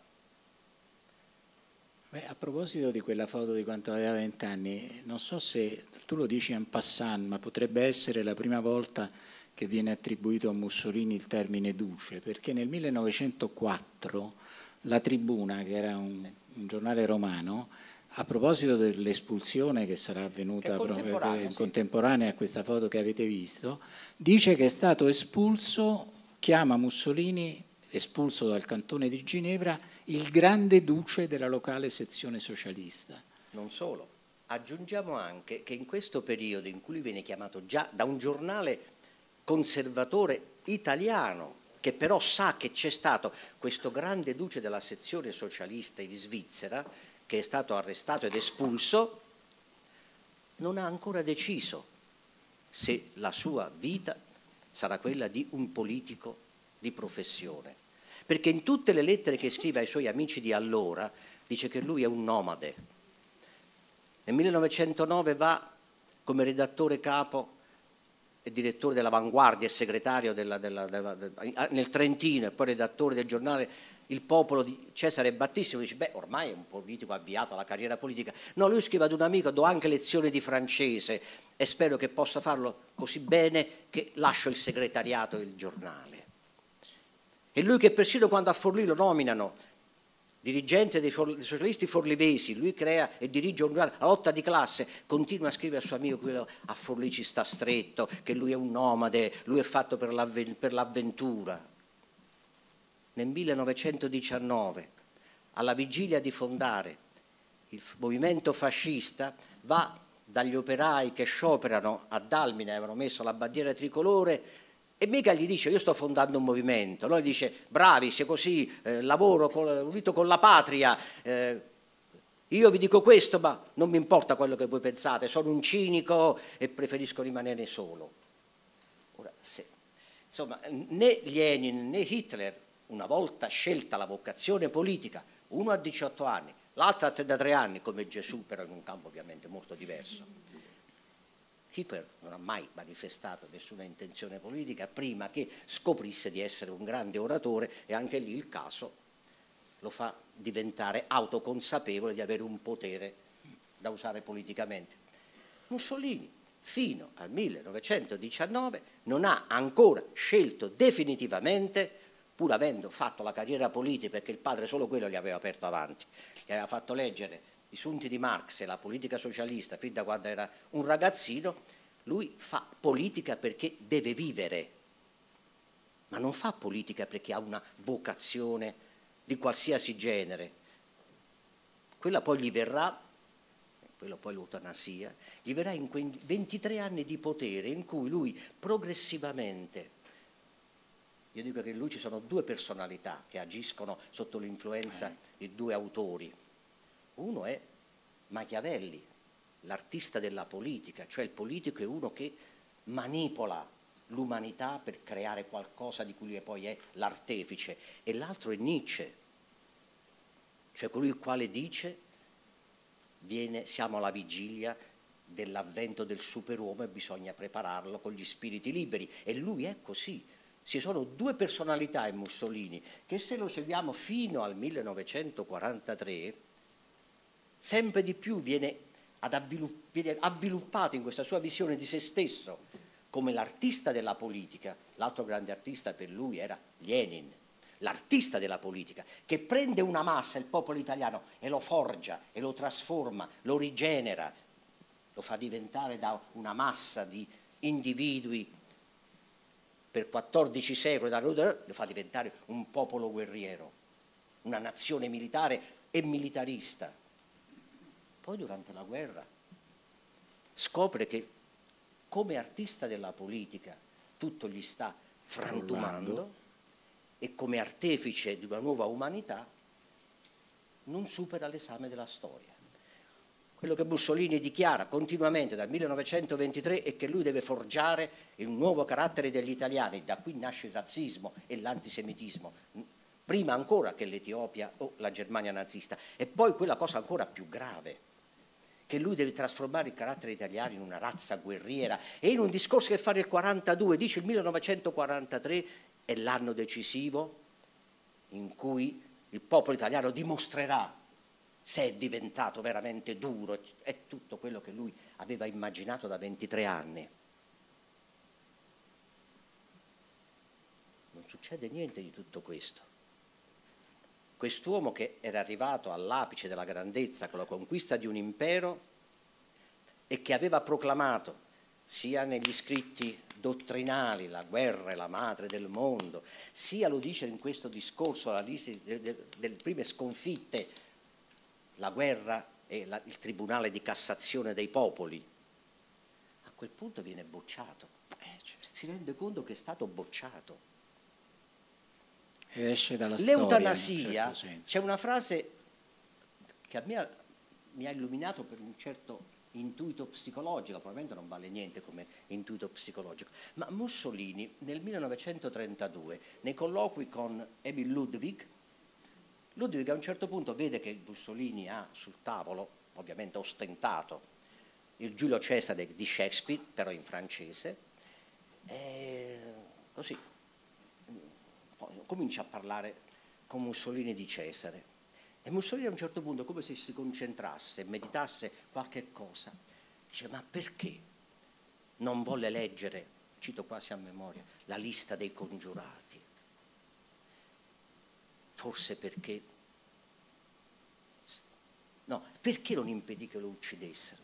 Forse perché sapeva di essere un uomo finito. È curioso che Mussolini quando scrive sinceramente i pensieri pontini e sardi, cioè esattamente un mese dopo che è stato defenestrato e arrestato, prima a Ponza e poi alla Maddalena, primo non parla di congiura, secondo non parla di complotto, sempre a proposito del 25 luglio di tradimenti, terzo non dice che li ha avvertiti che era il crollo del regime, ma fa delle riflessioni su se stesse come capo e comincia col dire che il crollo del regime è cominciato con El Alamein, 23 ottobre del 42. Da allora la fortuna mi ha girato le spalle. Ho sperato tanto in una vittoria, ma non c'è stata. Queste sono le sue riflessioni, addirittura con una frase con la quale inizia i suoi pensieri alla maniera di un frammento dei sofisti greci, su per giù, così Paolo forse me lo può citare più correttamente, ecco, tutto quello che è accaduto doveva accadere, perché se, non accad- perché se non doveva accadere non sarebbe accaduto. Su per giù è questa la frase di un Mussolini che all'inizio di agosto del 1943 riflette su quello che è gli accaduto e sa dire solo una cosa, Forse sono stato, ma come le parare, sono stato un sognatore. È curioso. Lui ripeterà questa frase continuamente, quasi in ogni lettera, a Clara Petacci durante la Repubblica Sociale, in uno totale stravolgimento del rapporto che lui, vantato anche dagli storici come un realista terra-terra, continua a dire hanno distrutto Roma, il nostro sogno di grandezza è caduto, io sono stato un sognatore. E alla fine conclude nel febbraio del 45 dicendo eutanasia progressiva ma con qualche sbalzo di desiderio di vivere ancora o di illudersi ancora. A Clara Petacci scrive ancora dei tre, dei tre regimi totalitari, due hanno dimostrato di essere capaci fino in fondo di resistere, quello nazista e quello comunista l'italiano no, ma non è il fascismo che ha guastato gli italiani, sono gli italiani che eh, hanno guastato. Io proprio su questo volevo interromperti perché e questa... secondo me per uno che voleva trasformare gli italiani in un popolo di superuomini gli rimaneva solo l'eutanasia. Eh sì, perché questa è la parte politica, è la parte più per certi versi, come posso dire, vile e in una certa misura infame, diciamo, di, di, cioè il far ricadere la responsabilità della fine del fascismo e del regime e quindi della sua personale fine politica sul popolo italiano. Lui lo ripete varie volte in modo estremamente comincia pesante, comincia dal 41, cioè appena cominciano le sconfitte, eh, Mussolini che pure sapeva dell'impreparazione militare dell'Italia, che pure sapeva che era troppo presto e non si sarebbe dovuta fare quella guerra, sapeva tutto questo, tuttavia non riflette, non tira fuori, non dice questo. Dice sono i, i militari italiani, sono i, i soldati italiani che non sono in grado di fare quello che dovrebbero fare. Eh, c'è quella, quel, quell'inciso sul fatto che a un certo punto si parla degli Appennini e del clima rigido eh, degli Appennini e lui dice mi piacerebbe che il clima fosse sempre più rigido perché è l'unico modo e, e, e, muoiano se devono morire. Beh, i bombardamenti di Napoli è bene che il italiano, il napoletano impari la vita dura. Sui bombardamenti di Napoli dice quello è un modo per educarli, visto che non siamo, finora non sono riusciti a farsi educare come noi volevamo educarli. Eh, a questo punto io però, andando avanti al limite, non so se tu hai qualche foto dei, mh, dei segretari. Eh... No, questo posso lasciarvi seguire eh, l'evoluzione del fascismo dal 1919, questo è il 23 marzo. Sì. No, perché c'è un punto su cui io vorrei tornare che a me sembra importante, perché qui in fondo stiamo, prima di passare, perché io poi volevo parlare un po' di questa duplicità di Mussolini e anche della, delle diarchie nel fascismo, ma eh, prima eh, tu hai toccato un punto in fondo noi stiamo in qualche misura cercando di sconfessare dei luoghi comuni sulla fine del fascismo e anche in un certo senso una serie di luoghi comuni sull'inizio. Uno che eh, ha molto attecchito e che ha qualcosa a che fare con un altro termine che bisogna prendere, che è come lo tocchi Scotta, che è mussolinismo, eh, che, eh, riguarda il fatto che eh, Mussolini è diventato Mussolini relativamente tardi, fino almeno al 3 gennaio del 25, non so, potremmo fissare. Mussolini è uno tra altri e ci sono altri che decidono più e a volte contro e forzando Mussolini. E questo in genere non filtra storia, anche dal, dalle biografie che pure ci sono, ma non, non viene fuori. Cioè Mussolini eh, in questi primi anni, ripeto, fino al, e anche poi col 3 gennaio 25, perché la decisione del 3 gennaio 25 lui la prende eh, perché poi ha intuito che era anche l'unico modo per uscirne dalla crisi Matteotti, eh, lui la prende perché viene forzato dal partito milizia, cioè viene forzato dallo squadrismo, questo DNA del fascismo su cui il fascismo ha costruito il suo successo e che, come tu dici tante volte, poi rimane come DNA, no? è ineliminabile, è un qualcosa fino alla, è, fino alla Repubblica Sociale, poi adesso stasera non parleremo magari di Repubblica Sociale, però quello che invece è interessante è che il primo Mussolini, diciamo, eh, non è solo Mussolini, anzi è per esempio Michele Bianchi, cioè chi decide di fare eh, quel capolavoro tattico che è stata la marcia su Roma, che ha consentito a Mussolini di venire in vagone letto da Milano a Roma e farsi nominare capo del governo, eh, è Michele Bianchi, non è eh, Mussolini.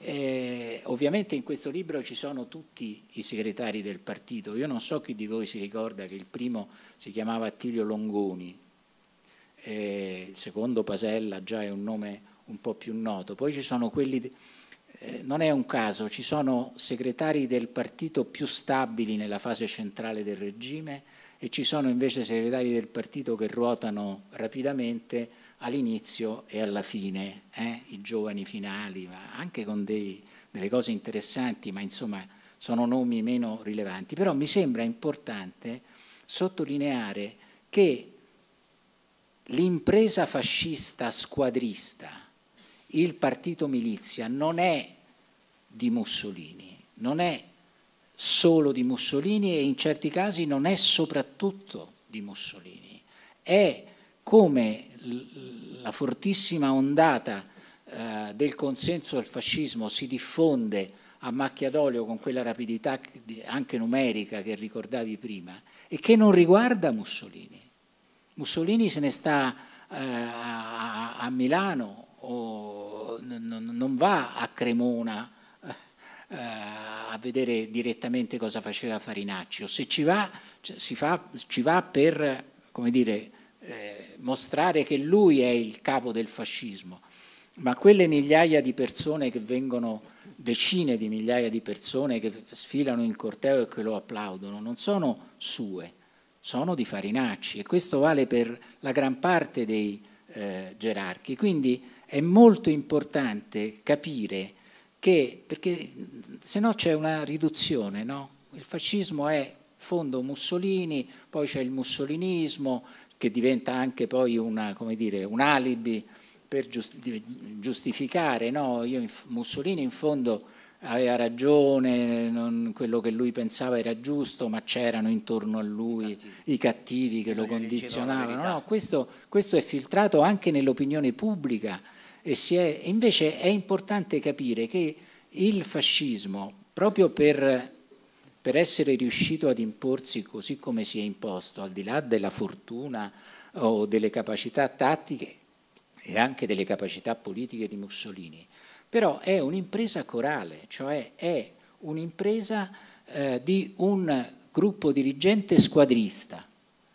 Eh, poi questi squadristi, alcuni si riveleranno più capaci di eh, fondare un giornale, di scriverci, di un, avranno culture diverse e variegate, però mi sembra molto importante sottolineare che non è solo Mussolini, che probabilmente senza Michele Bianchi eh, Mussolini capo del governo non ci sarebbe stato. Non so se è eccessivo questo. No, no, proviamo, proviamo a fare un, un, tentativo di storia comparativa, di biografie parallele.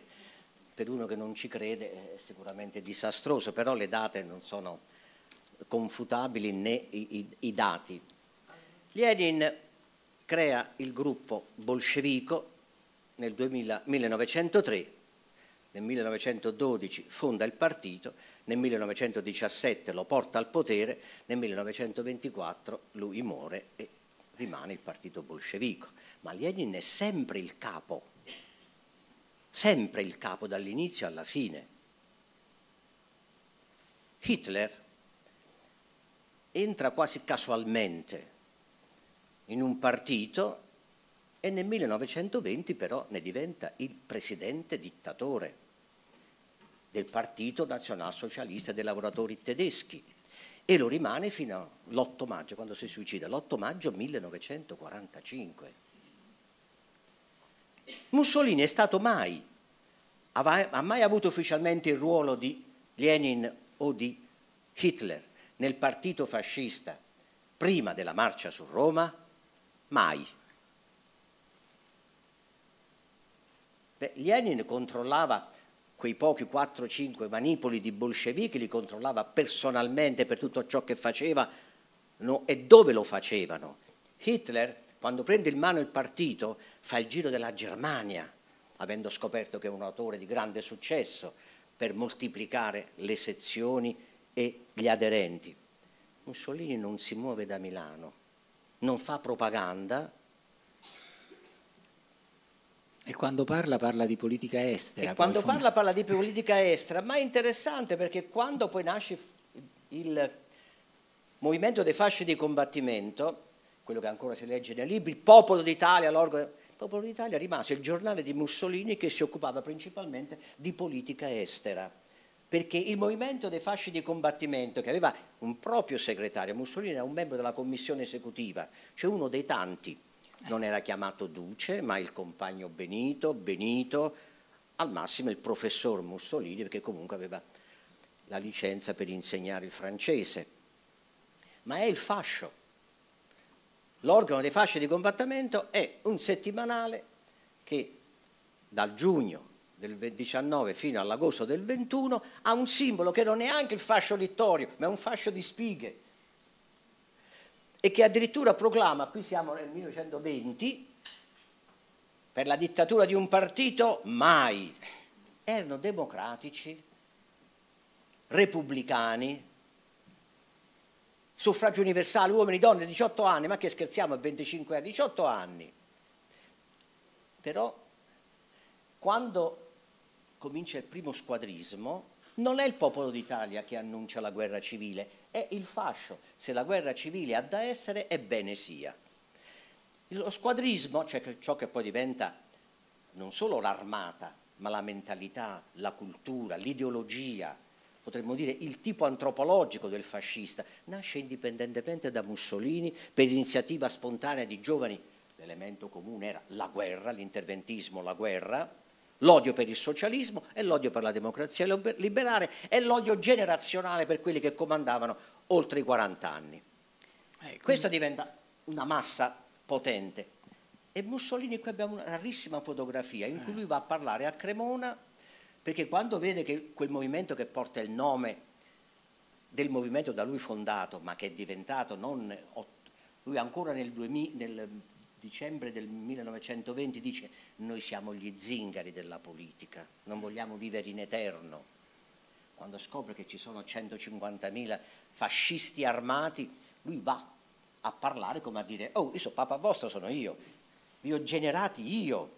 E questi gli dicono no, perché lui vuole che ora che sono diventati un partito potente grazie alla violenza e la violenza ha ottenuto il suo scopo distruggendo tutto ciò che sopravviveva delle organizzazioni socialiste e proletarie e poi anche popolari e poi anche repubblicane e dominavano incontrastati con le armi in maniera dittatoriale in gran parte dell'Italia settentrionale e centrale. Mussolini vuole fare la pacificazione, firma la pacificazione eh, sì. e questi, i veri artefici del fascismo fino alla marcia su Roma, è uno di quelli che poi lo affosserà, Dino Grandi e Italo Balbo, i quali dopo il patto di pacificazione, quando Dino Grandi promuove e fa il portavoce della ribellione degli squadristi contro Mussolini, chiamandolo traditore. Hai tradito i socialisti, adesso tradisci i fascisti. E lui si dimette. E lui dice che combatterà il fascismo come l'ha creato, lo distruggerà perché non è più un movimento di libertà, ma di oppressione. Di... Come sapeva fare Mussolini in quelle circostanze? Lui rischia di fare la fine che aveva fatto nel 1914, dopo che aveva tentato di convincere i socialisti all'interventismo i socialisti non lo seguono, i fascisti non lo seguono. Aveva addirittura preparato un progetto di partito laburista per i ceti medi in cui doveva nascere il fascismo, che doveva lanciare un, una proposta di alleanza governativa con i popolari e con i socialisti riformisti. Gli squadristi dicono no, adesso comandiamo noi e non c'è pace fino alla fine dei socialisti, dei popolari e della democrazia. Lo dicono apertamente. E, e Mussolini è costretto a cedere. Il partito fascista non nasce perché lo vuole Mussolini, nasce perché lo vogliono gli squadristi e lo vuole Michele Bianchi, che diventa il segretario del Partito Nazionale Fascista. Com'è che Mussolini non si fa nominare duce? Non esiste ancora, il duce comparirà, è un termine Ciano ricordava che lo usa la tribuna, ma è un termine che usavano normalmente i socialisti romagnoli. Sì. E poi pure Garibaldi era duce. E, insomma, duce in Italia era nome comune di chi comandava. Non rappresentava nulla. Nulla. E Mussolini comunque non era chiamato duce. Quindi vedi, qui c'è un grande paradosso dietro Questa quello è l'Italia che, che controllano eh. gli squadristi, non Mussolini. Ecco, l'Italia degli squadristi. Quindi diciamo come vedete dalla, anche dalla cartina geografica, a parte alcune zone eh, limitatissime eh, meridionali, il, lo squadrismo è attrazione emiliano-romagnola si potrebbe dire, no? cioè eh, Arpinati, Grandi, Balbo, Rossoni, cioè eh, sono questi gli uomini, tu adesso eh, stavo per dire, poi c'è il no più netto, è quello alla pacificazione eh, al patto di pacificazione con i socialisti, gli dicono sempre no quando lui cerca di attrarre qualche sindacalista confederale eh, nel suo governo. Cioè Mussolini, allora questo è il paradosso, cioè è possibile che sia stato proprio Mussolini a non capire fino in fondo la natura del primo fascismo, cioè il carattere eh, di partito squadrista, militante, eh, che, che privilegia l'azione immediata, il manganello, l'olio di ricino eh, rispetto a qualunque discorso, a qualunque dialogo, a qualunque rapporto con chi che sia.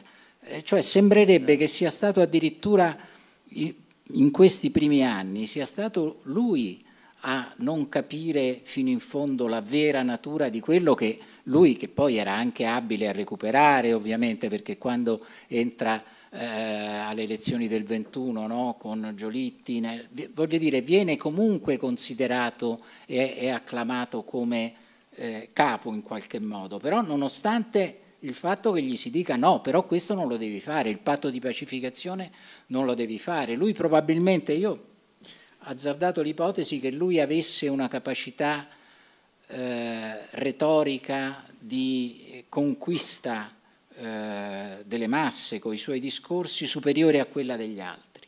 E lì forse a un certo punto recuperava, altrimenti non si spiega questa, questa relativa ambiguità, lui che non capisce la vera natura squadrista del, del fascismo e gli altri che gli dicono no più volte, il patto di pacificazione è un momento in cui Mussolini potrebbe saltare, insomma non, non, non, non ci sono dubbi su questo, aveva probabilmente in testa un altro sviluppo. No? Beh, eh, in realtà eh, che cosa sono gli squadristi lo sanno e lo capiscono solo gli squadristi eh. e sanno di essere una minoranza che ha fatto la guerra, di giovani che hanno scoperto questa capacità di usare l'esperienza della guerra per distruggere con la violenza organizzata, sistematica e metodica una costruzione poderosa di 30 anni di socialismo e di organizzazione sindacale. Quello che eh, è la novità del fascismo, in ogni senso che lo stacca da qualsiasi altra esperienza e da qualsiasi tipo di eternità, è la sua temporalità collegata alla guerra. Il fascismo è un fenomeno che nasce dalla guerra.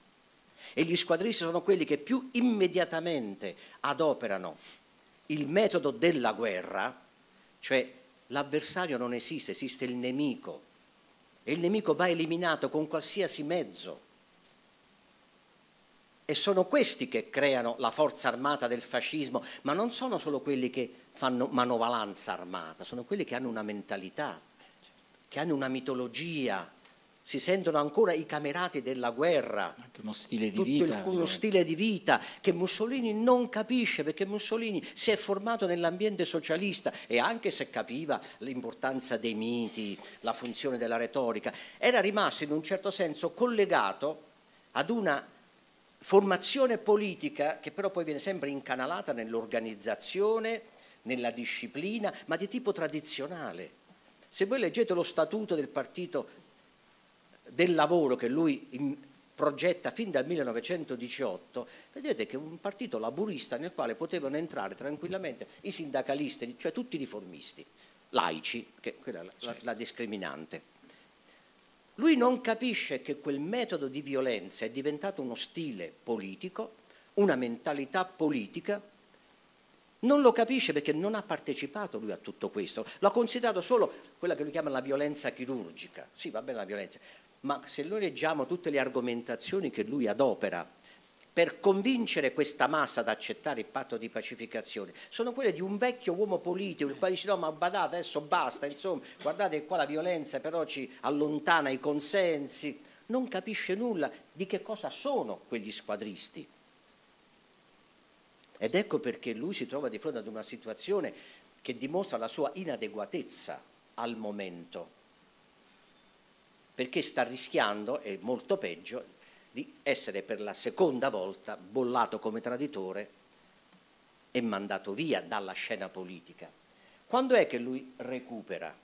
Quando accetta integralmente, tutto, tutto piano piano capisce che cosa significa e siccome era un animale politico nel senso di un animale da preda, assorbe immediatamente queste novità e se voi vedete proprio i suoi discorsi, lui non parlava mai di romanità, non parlava mai di disciplina, di gerarchia. Appena nasce il partito fascista, ma che non crea lui, perché non è altro che la trasformazione politica voluta dagli squadristi e da Michele Bianchi soprattutto, allora lui capisce che c'è una nuova realtà. E qui vengono fuori le sue duplici personalità. L'artista della politica, questa nuova realtà io non la posso manipolare come voglio, però se non ci sono io, che sono l'unica figura nazionale, questi si disperdono. Noi non consideriamo questo aspetto, sempre col senno del poi, diciamo, ma quello il fascismo, la violenza.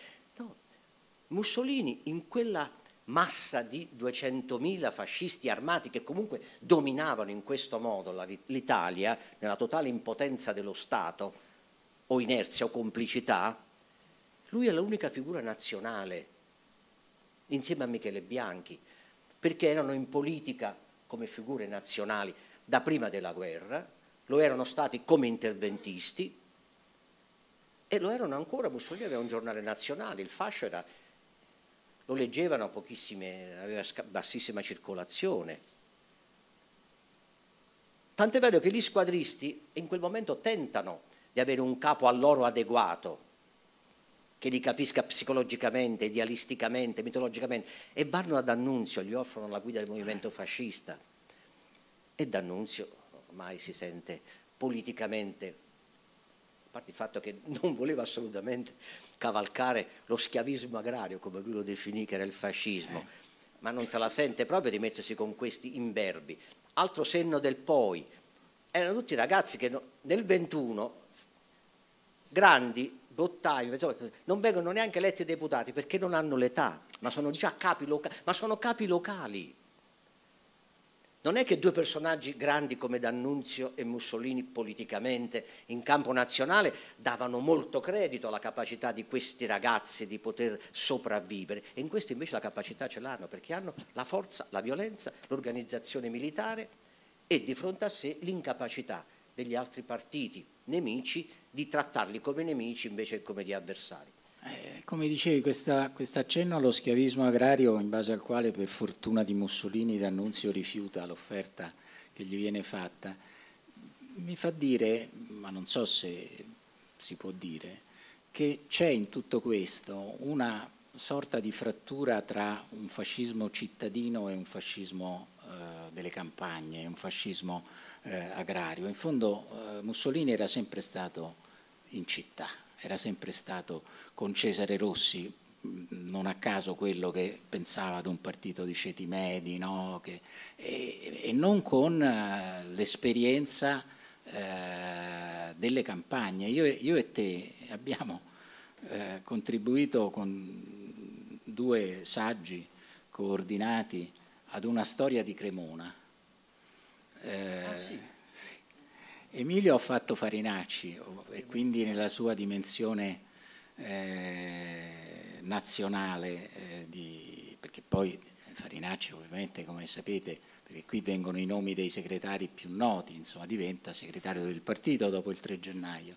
E io ho fatto invece la storia sociale di Cremona eh, e devo dire eh, la cosa che mi ha colpito di più studiando questa dimensione locale, ma lo dico anche perché ho letto ovviamente eh, ampia bibliografia su altre dimensioni locali, e nel tuo libro ho trovato uno straordinario riflesso di questa considerazione che riguarda i primi anni anche negli anni successivi, perché questa cosa rimane a livello di dimensione sociale del fascismo, che eh, mentre eh, gli esercenti, i piccolo borghesi, eh, comunque ci sono sempre del, dei problemi. Eh, gli operai ovviamente che hanno una loro tradizione, anche lì, ma la cosa più spettacolare è il ribaltamento del consenso a favore dei fasci nelle campagne. Cioè il, la, la, l'area eh, contadina, il mondo agricolo, è una dimensione proprio in cui, ovviamente lo sappiamo anche per l'errore della sinistra di voler bracciantizzare i contadini, no? trasformarli in operai della terra e i contadini non vogliono essere trasformati in operai della terra, quindi sono degli errori eh, enormi, però la cosa che mi colpì di più proprio a Cremona, ma credo che sia un fatto più generale, è questa, cioè nel giro di eh, meno di un anno tutto il consenso dei contadini e delle campagne si trasforma radicalmente e va al fascismo. Cioè è, e ci sono nel tuo libro a un certo punto, in anni successivi, però questo elemento ritorna, cioè ancora nei fiduciari che dicono sì, il fascismo ovviamente ormai è solito, cioè, eh, però magari ancora tra gli operai si mugugna, ancora c'è qual... I contadini.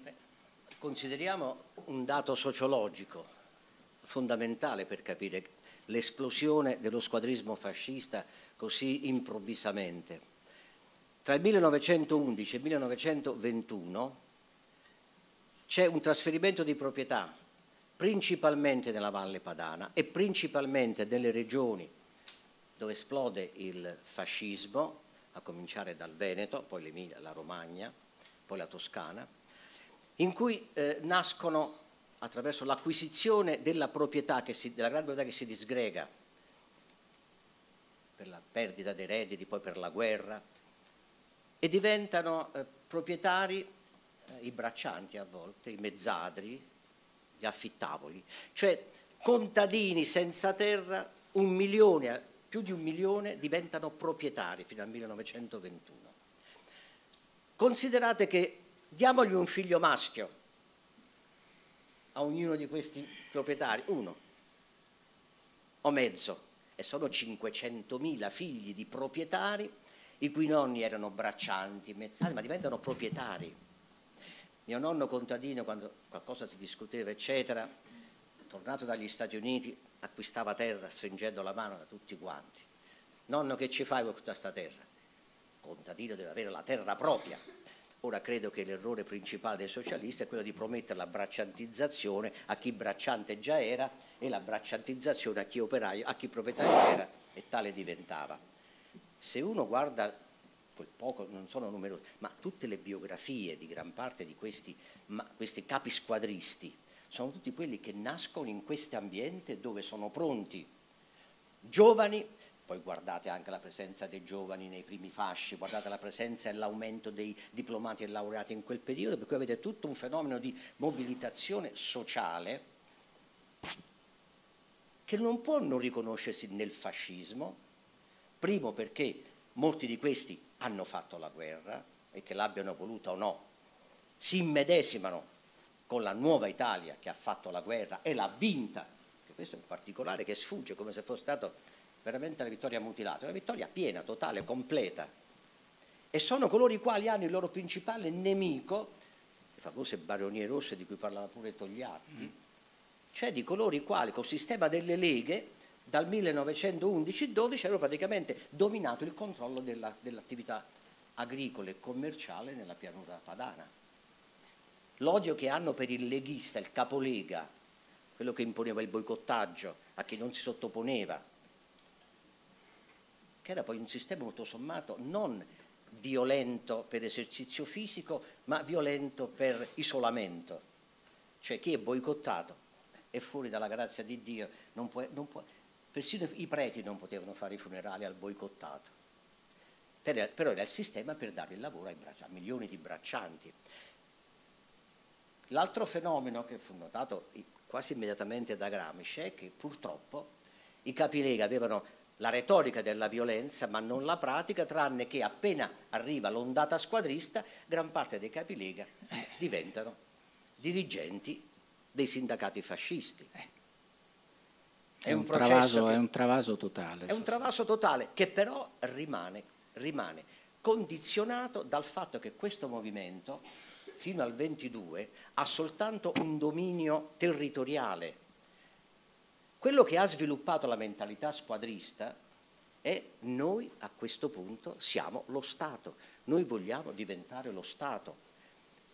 E quello che a Hitler costerà 14 anni e solo di via elettorale. La cosa sorprendente del fascismo che non ha paragoni in nessun altro tipo di sommovimento rivoluzionario per cui un partito si impossessa di uno Stato e lo trasforma nel giro di due anni solo dalla sua nascita, è dovuto principalmente al fatto che è un partito armato che opera l'esperienza della guerra e la mentalità di dominio totale che lo Stato aveva assunto durante tre anni, quattro anni, cinque anni di guerra. Questo sfugge completamente a chi va cercando attraverso comparazioni o interpretazioni. Un fatto generazionale che porta, come si può pensare che questo milione di nuovi proprietari, che diventano 300.000 fascisti armati, di fronte a uno Stato debole e incapace, che è governato da queste persone, da queste persone, ma pensate a vedere voi, voi siete dei giovani, avete fatto la guerra, siete figli di proprietari, i socialisti non vi vogliono, e chi vi comanda? Un ottantenne, un settantenne. Circola questa fotografia di Mussolini, ma pensate che impatto immediato di comunicazione politica ha chi è la nuova Italia? Chi ha la, la faccia da, di quello che comanda? Questo o questo qua? Che pure in fatto di arte del comando ne sapeva, ma moltissime arti del comando, tant'è vero che è stato al governo quasi ininterrottamente per dieci anni. E lascia un luogotenente e fa, questo è Luigi Facta, colui il quale avrebbe dovuto arginare, fermare, bloccare, annientare le armate fasciste. E forse ci sarebbe riuscito, perché Mussolini tutto sommato fino alla fine, fino al 27 ottobre, tratta segretamente con Giolitti, con Nitti, con Salandra, si, con Orlando. si accontenterebbe di entrare e il massimo che chiede sono 5, 4, 5, 5 ministeri importanti. Mm. e io non ci voglio entrare però. Eh, tra l'altro. non ci voglio entrare. È eh, di nuovo Michele Bianchi chi lo spinge? Che perché mette in moto la macchina, prima ancora che Mussolini, dicendo no, qua il Presidente del Consiglio il... deve essere Mussolini, è Michele Bianchi, questo signore qui, che casualmente in questa fotografia della, della preparazione della sfilata della marcia su Roma, o probabilmente può essere anche Napoli il 24, ma è più la marcia su Roma, è Michele Bianchi. È lui che, che, lancia il nome di Mussolini quando Mussolini tutto sommato sarebbe andato anche volentieri con Giolitti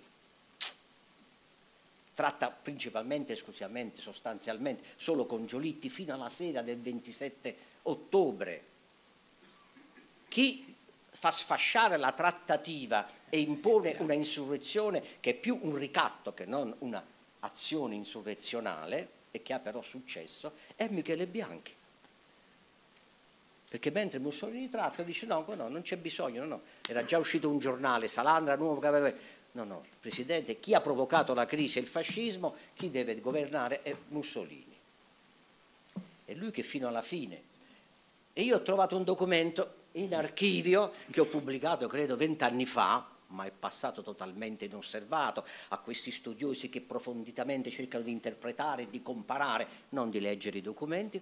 Il 10 giugno 1924 Bianchi, temendo di fare la fine di Rossi o di Marinelli o di qualcun altro per il delitto Matteotti, scrive a Mussolini una lettera in cui dice caro Duce, qui le cose, eh, ricordati che sono, che sono stato io che ho voluto il partito fascista, che sono stato io che ho scatenato la rappresaglia dopo lo sciopero egualitario e tutti voi dicevate che ero matto e che il 24 e il 26 ho stato io mentre voi tutti quanti stavate ancora tentennando che ho lanciato il tuo nome o imposto la tua candidatura.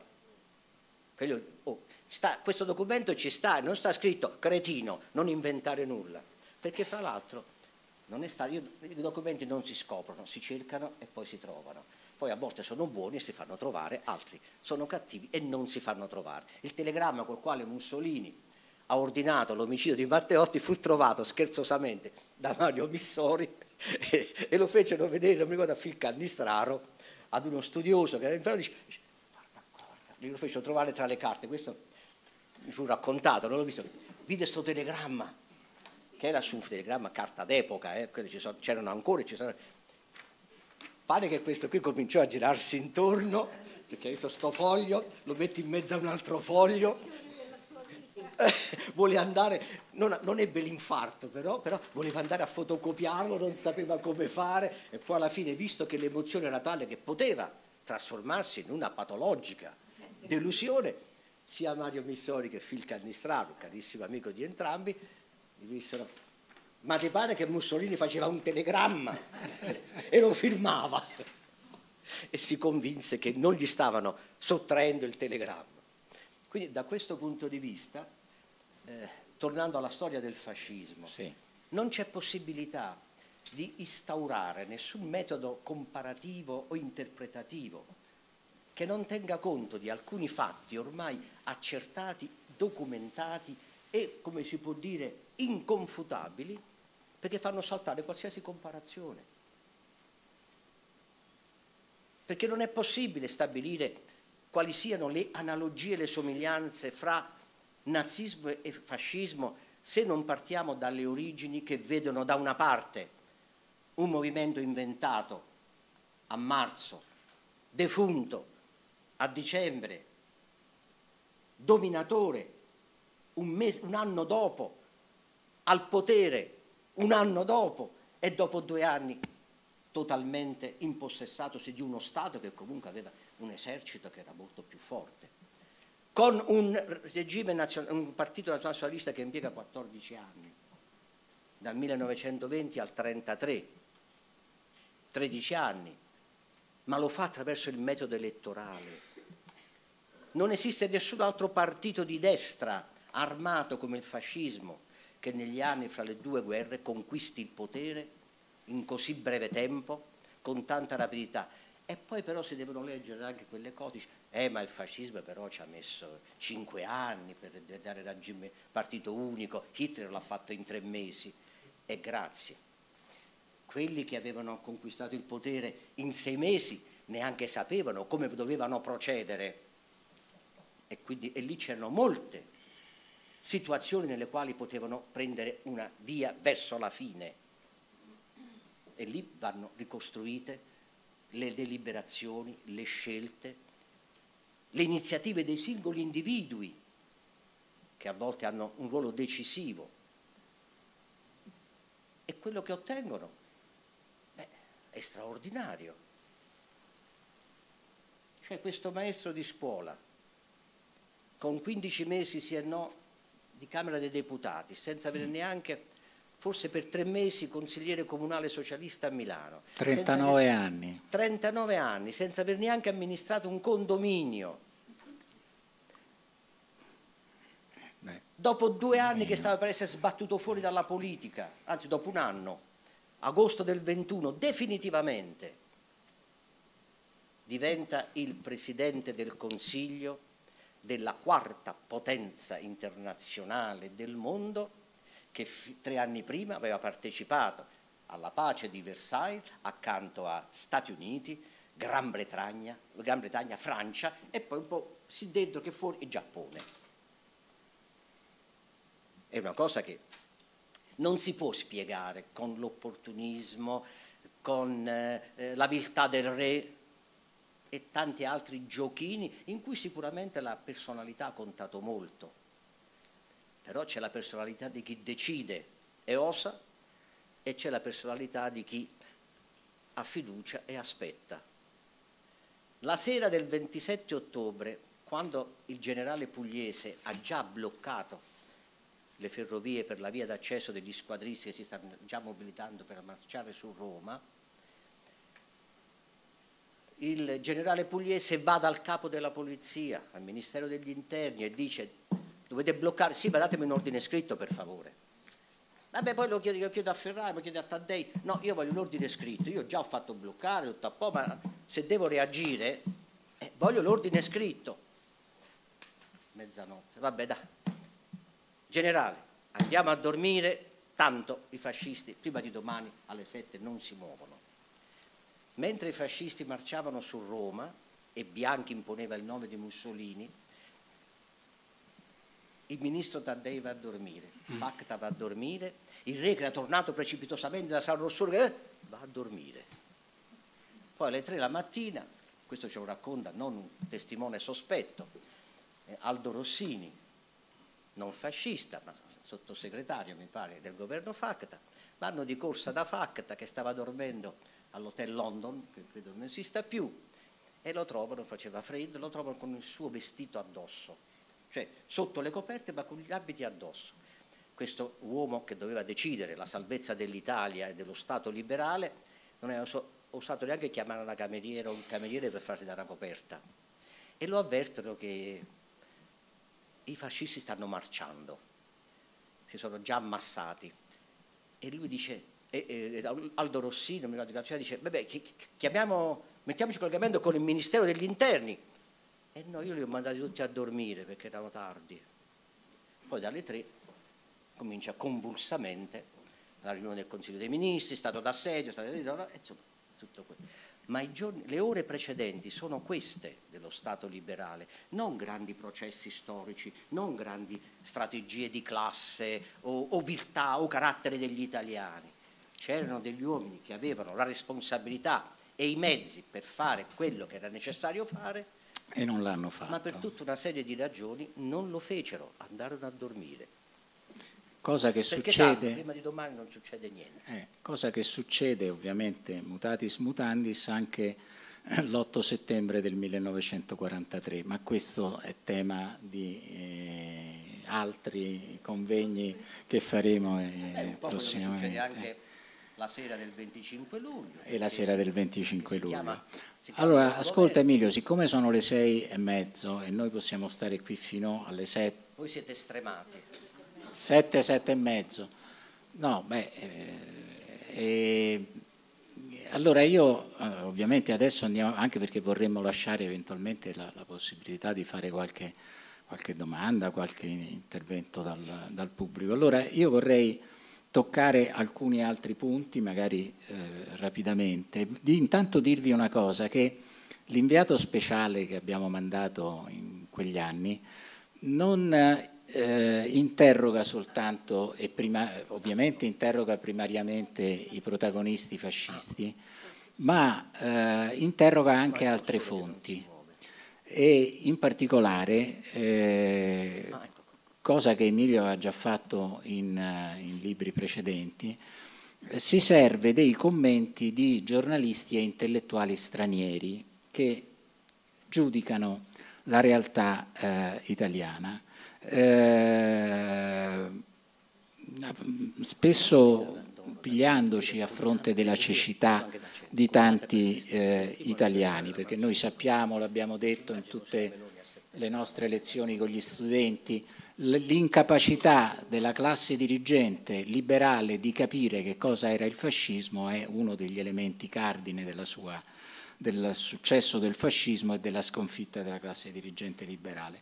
Eh, questo, che è un acuto commentatore della marcia su Roma come fine della democrazia, dice, eh, mi pare fosse un francese, ma non ne sono certo, eh, gli eventi di quei giorni sono parte di una tendenza europea, mm, voglio farvi fischiare le orecchie, per questo lo cito, di una tendenza europea incominciata con la Grande Guerra, seguita dalla Rivoluzione russa, e può non concludersi durante la nostra generazione, cioè mm, andiamo avanti poi nelle generazioni eh, successive.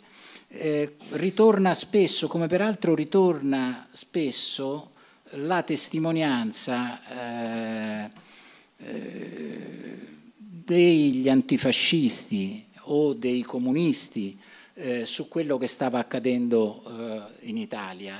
Una cosa che mi ha sempre colpito studiando queste cose, ma ancora più leggendo il libro di Emilio, è che l'idea che avevano contemporaneamente Salvemini e i comunisti, che ormai il fascismo fosse talmente forte che l'unica possibilità era praticare una sorta di entrismo, cioè entrarci dentro e seguire dall'interno cercando in qualche modo no, di rovesciare i termini del consenso, beh, insomma, questo per certi versi è una prova della pervasività e del successo da questo punto di vista della, della politica fascista. Ecco, io, a me suona, suona, così. Però da questo punto di vista di eh, testimonianze altre che eh, l'inviato speciale ha trovato, quello che mi ha colpito veramente di più, e su questo io ho l'impressione che non ci fossero nella,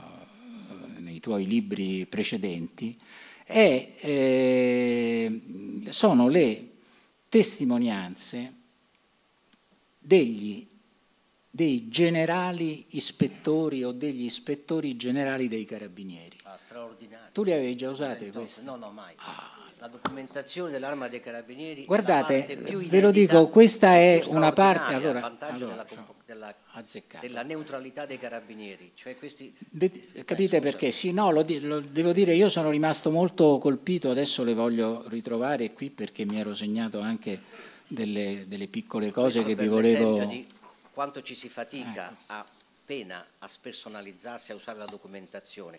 Questi documenti io li ho eh, eh, dilli, consultati nell'ufficio storico dell'Arma dei Carabinieri nel 1989, ma non li ho mai usati con l'idea adesso faccio la rivelazione, perché volevo capire come mai i carabinieri erano capaci di fare delle analisi del fascismo negli anni 28-29 e dicendo chiaramente che quel regime chiuso, oppressivo, rischiava di provocare quel lungo tempo. Eh?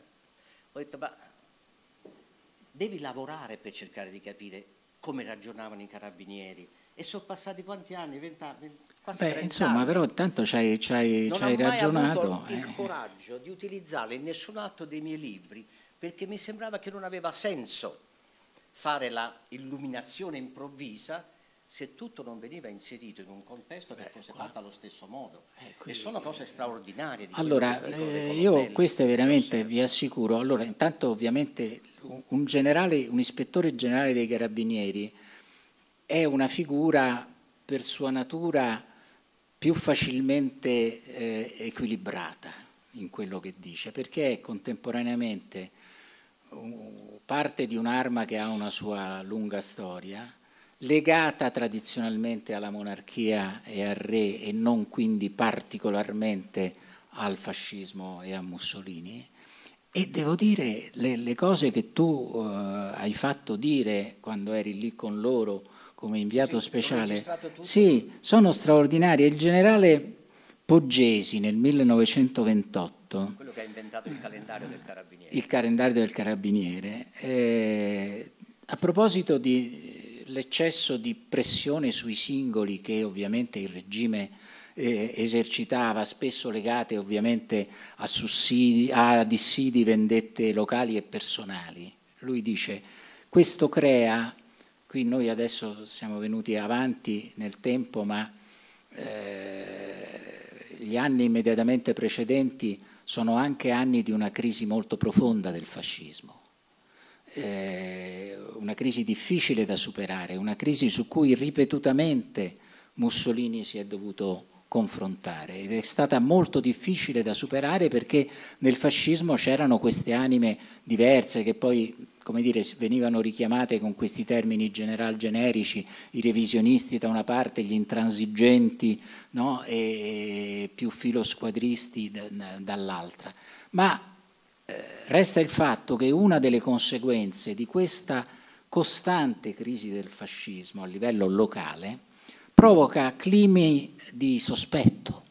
Eh, dice il generale Poggesi, toglie libero respiro alla nazione la chiude entro un muro di paura, genera un senso vago di paura, di diffidenza collettiva, un cupo silenzio. Qui siamo nel 28, guardate, siamo alla vigilia eh, del, del, della celebrazione del decennale, qualche anno dopo, eh, della presa del potere eh, certo c'è la crisi economica dovuta alla quota 90, poi ci sarà quella dovuta alla grande crisi, però insomma eh, siamo a metà, eh, il fascismo è sostanzialmente consolidato, allora un senso vago di paura, di diffidenza collettiva, un cupo silenzio che è talvolta più dannoso di un qualsiasi commento malevolo, in quanto lascia fermento di, di rancore e di sfiducia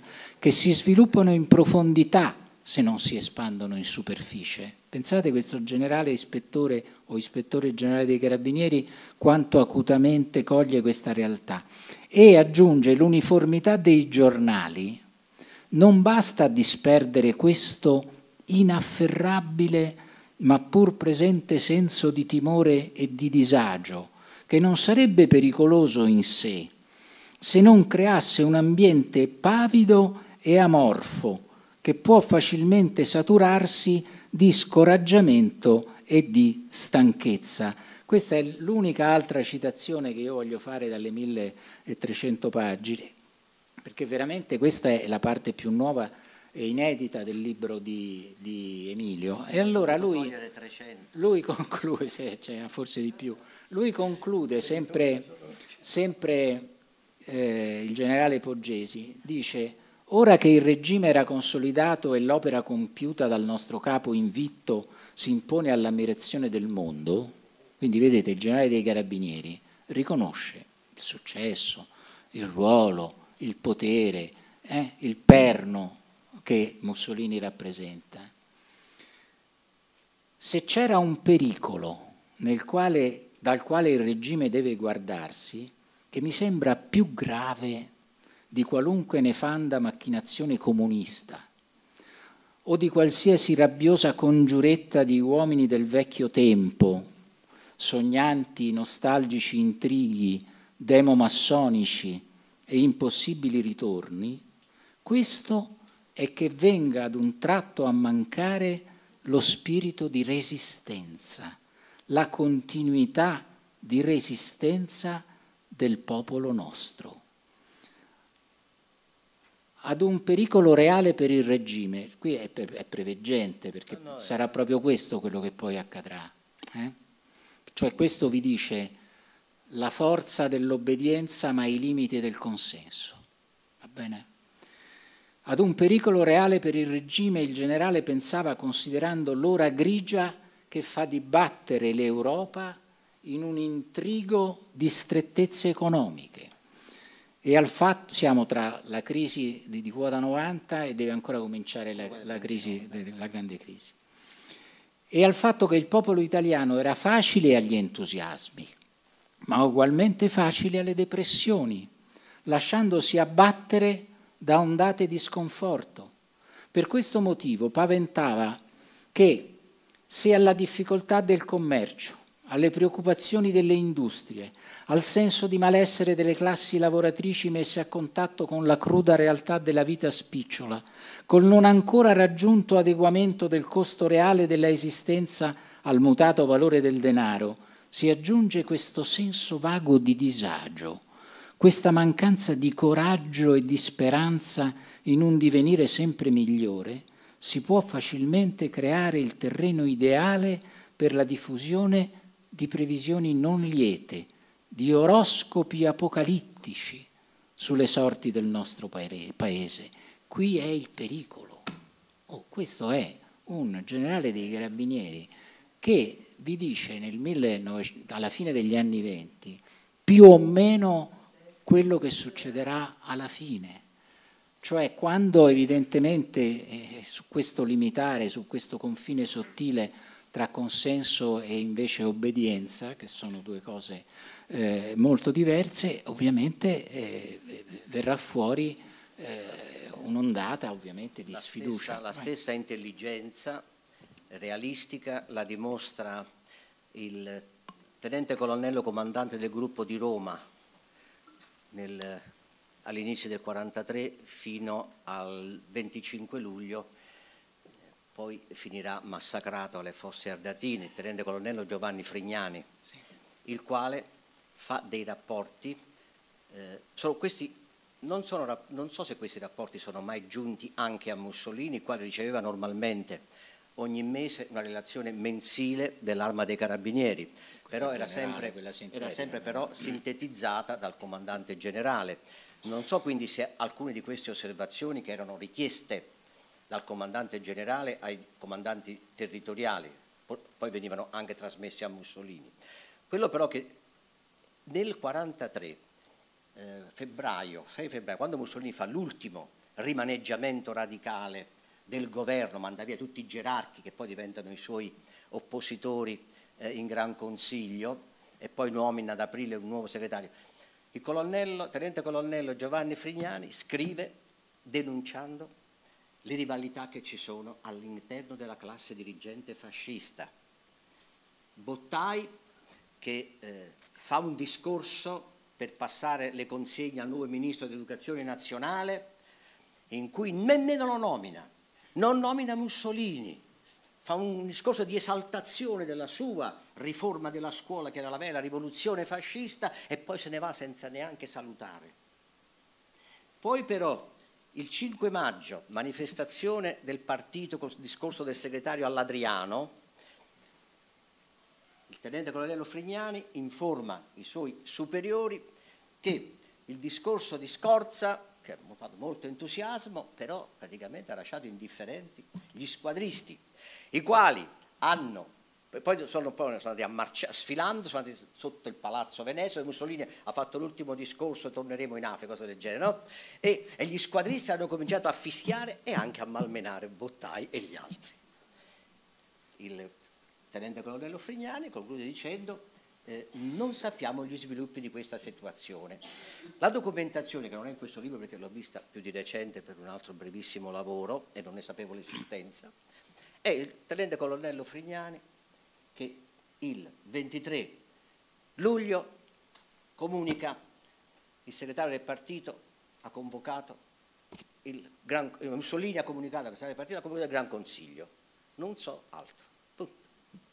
vi rendete conto? Tutte le congiure eccetera. Cioè che il 22, 23, 24 a meno che non siano stati persi i documenti questo attentissimo osservatore a Roma di quello che succedeva dell'arma dei carabinieri non ha minimamente sentore che ci siano congiure o complotti in giro, di cui ovviamente se ne parlava perlomeno da tre anni, dalla disfatta dell'esercito italiano in Grecia.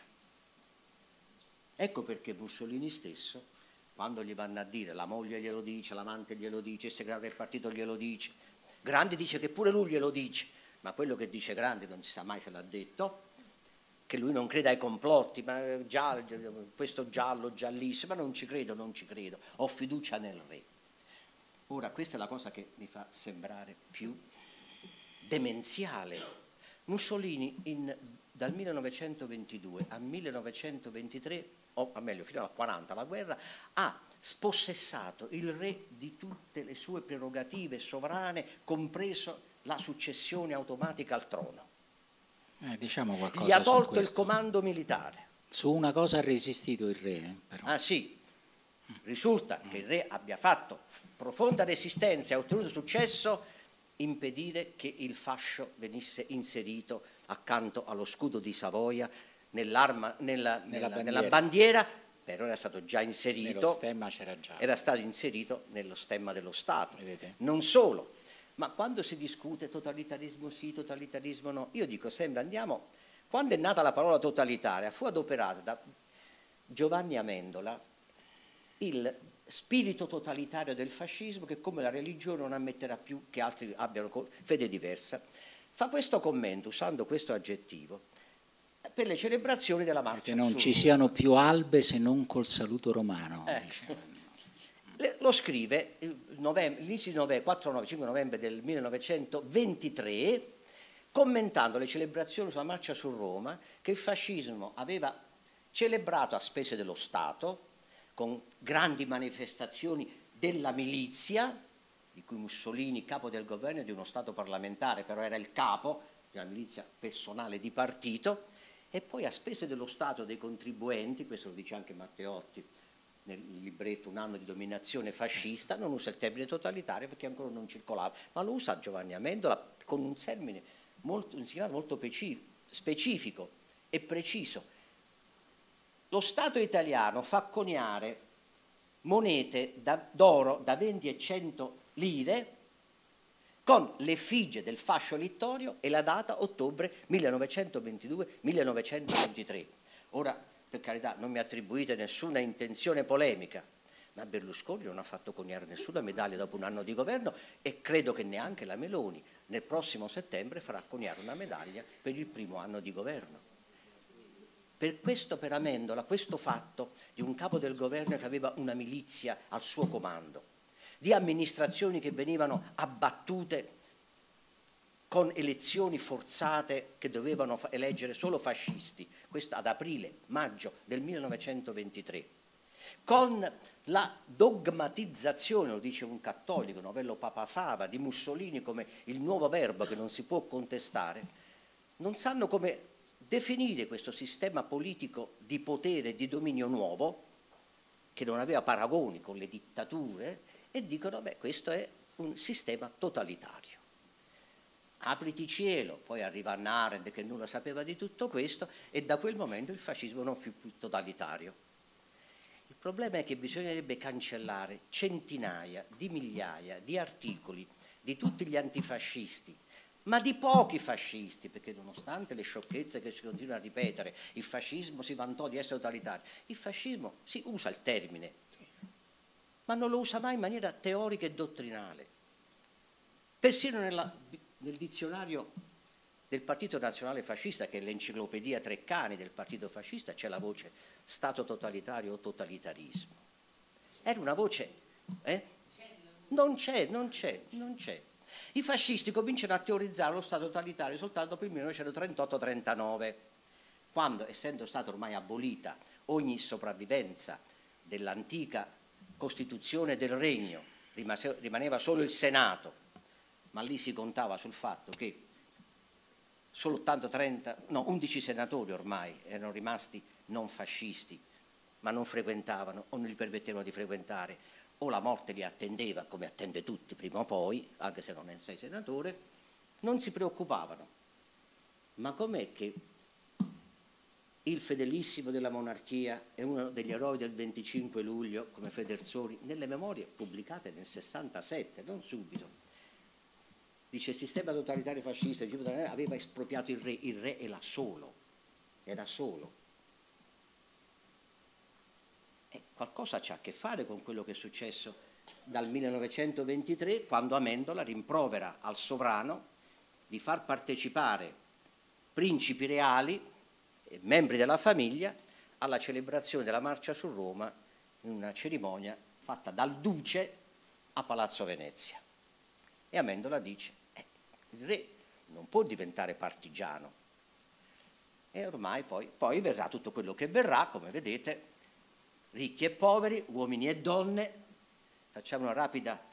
Certo la Chiesa fece grande opposizione al fascismo. Leggete quello che dice il Papa nel 1925 sulle sue tribolazioni, e quello che dice nel 26, e quello che dice nel 27, e l'enciclica del 31, non abbiamo bisogno, e il rapporto che fa Tardini, Monsignor Tardini, nel dicembre del 35, la Chiesa sta attraversando il, più, il periodo più grave della sua storia, la gente crede più a Mussolini che al Papa, e i cappellani che sfilano col saluto militare,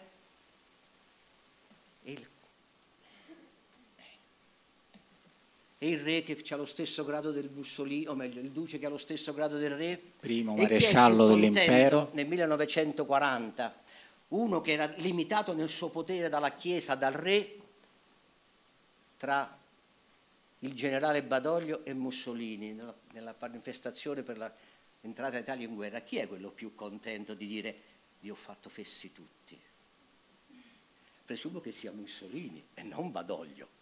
Dopodiché, come voi sapete, la storia va a finire con evviva la guerra, vincere, il cadavere e l'estinto torna e poi la fine che fece è quella che sapete. Provate a riproporre tutto questo che io ho raccontato, che Luciano ha raccontato con me, in cui di mio non c'è nulla tranne la fatica di trasformare i documenti in un racconto, in una interpretazione del fascismo eterno o del fascismo che non è mai esistito. E io vi proporrò per il premio Nobel per l'ignoranza saccente o per l'ignoranza della dotta ignoranza.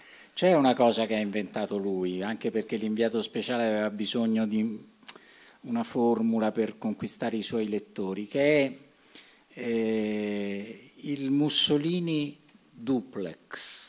No, quella non l'ho inventata io. Chi, arca miseria, chi l'ha inventata? È una frase in un articolo del giornale d'Italia o qualcosa del genere. Purtroppo di mia invenzione non c'è neanche il titolo del libro. Guarda, questa è l'ultima cosa che mh, mm, vi vorrei dire perché mi sembra importante, tra l'altro ci riporta all'eutanasia in un certo senso.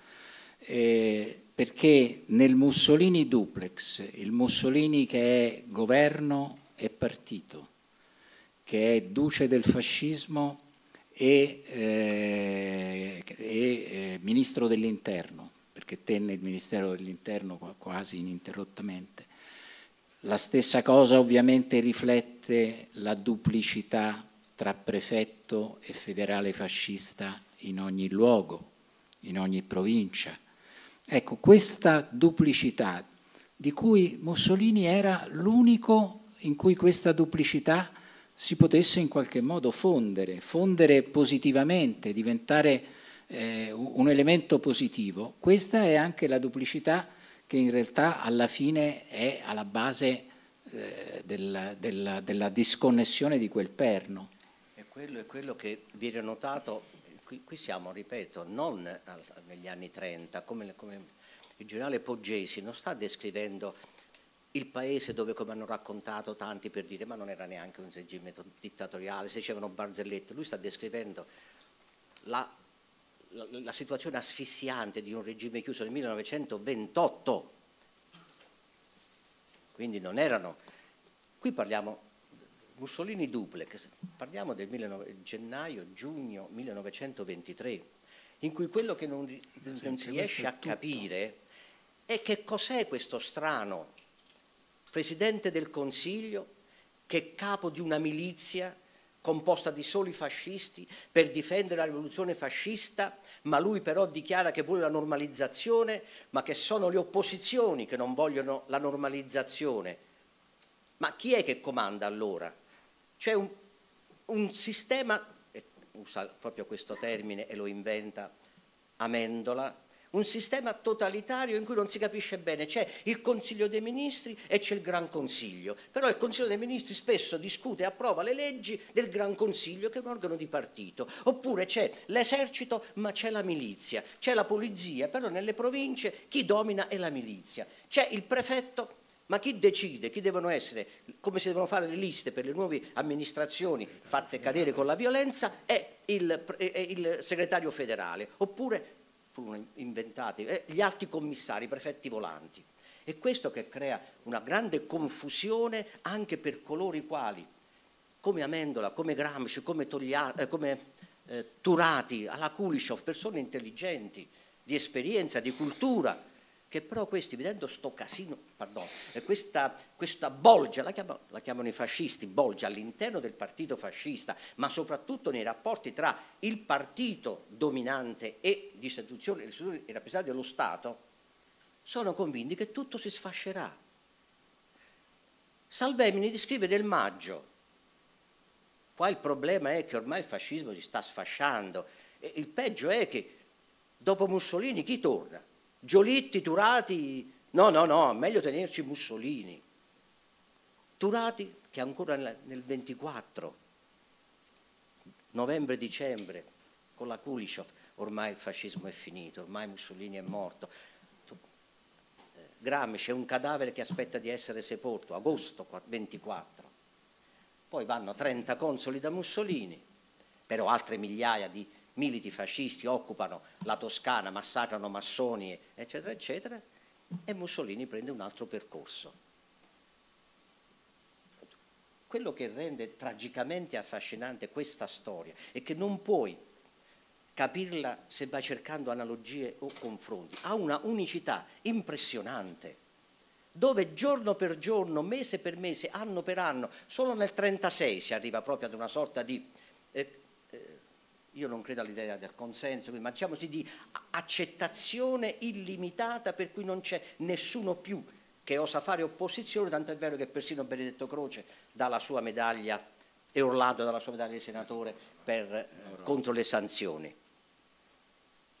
Ma prima di allora questo regime costruisce il suo potere non su consenso. Ci sono anche le bellissime relazioni dei comandanti territoriali eh, per le, i famosi plebisciti, no? che sarebbero il sintomo, il segnale. Dico, sì, sì, eh, noi abbiamo fatto le elezioni, eh, eh, usano un linguaggio molto, molto singolare, no? Eh, vanno liberamente con entusiasmi inquadrati a votare. che è una cosa geniale. Anche alcuni vescovi dopo la messa. Vescovi con, eh, secondo me siamo ancora, io spero che il mio libro sia stato soltanto un tentativo di scrivere una storia del fascismo eh, raccontando i fatti senza interpretarli e vedere se si capisce molto di più quello che è accaduto, invece di costituire ancora una sorta di eh, non abbiamo ancora capito bene il fascismo, aspettiamo che lo, ce lo spieghino i populisti. Sta avvenendo uno strano fenomeno. Adesso il fascismo non è più quello che io ho raccontato. Sul fascismo del passato vengono proiettate, proiettate tutte le presunte connotazioni del fascismo di oggi, che può andare da Trump a Berlusconi, da Berlusconi a Meloni, da Meloni a, a Xi Jinping.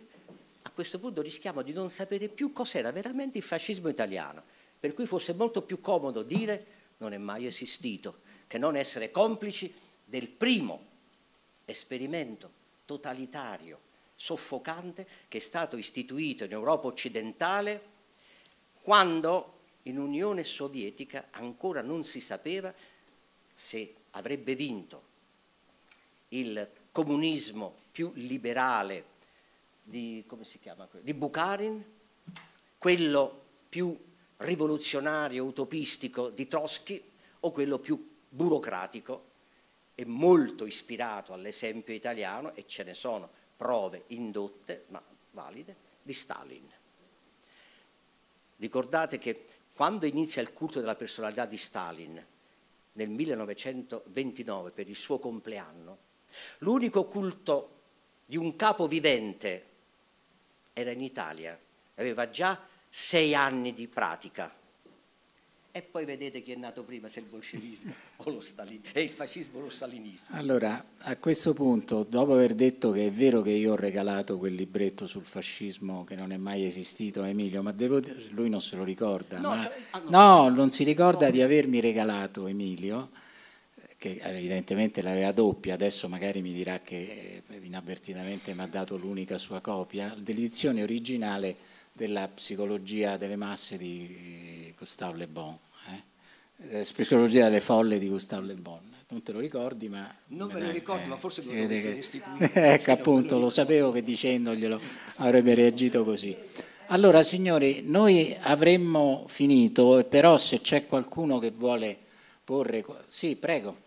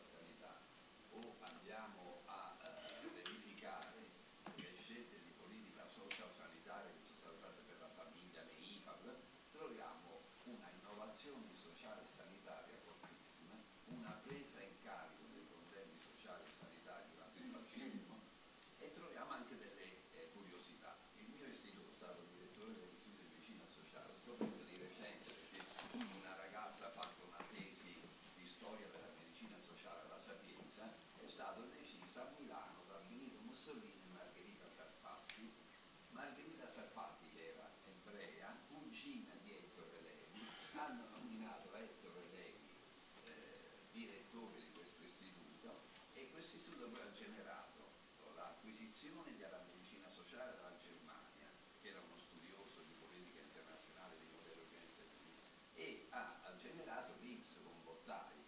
Quindi la domanda è questa, c'era uno statalismo compiacente per aggregare il popolo eh, eh alla causa del fascismo e quindi dell'accoglienza o c'era un eh, senso di statalismo?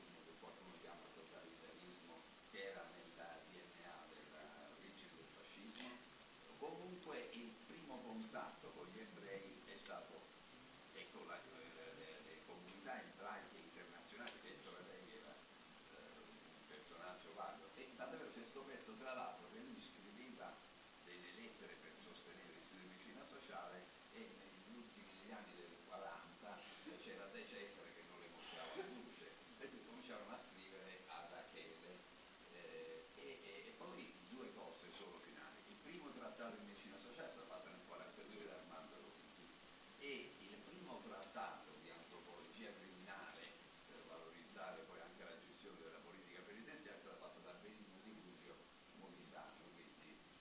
fu un richiamo che già fino nel 1942 sono durate queste politiche sociali. Diciamo. Allora, la risposta è molto semplice. Eh, nel 1934 finisce, c'è l'ostracismo a tutti gli ebrei, quindi eh, i rapporti con gli ebrei finiscono nel 1934. Mussolini lascia, eh, ripudia la sua amante, eh, l'unico ministro ebreo Jung viene dimesso, eh, l'ultimo generale non ha più la promozione, che era anche pugliese, quindi se c'è stato un rapporto non persecutorio, ma addirittura anche interlocutorio, con gli ebrei finisce nel 32-34, da quel momento non aspetta il 38. Per quanto riguarda la medicina sociale c'è una fortissima promozione della medicina sociale durante il fascismo, dell'assistenza alla prole, alla maternità all'infanzia, ma è tutto finalizzato alla purezza della razza.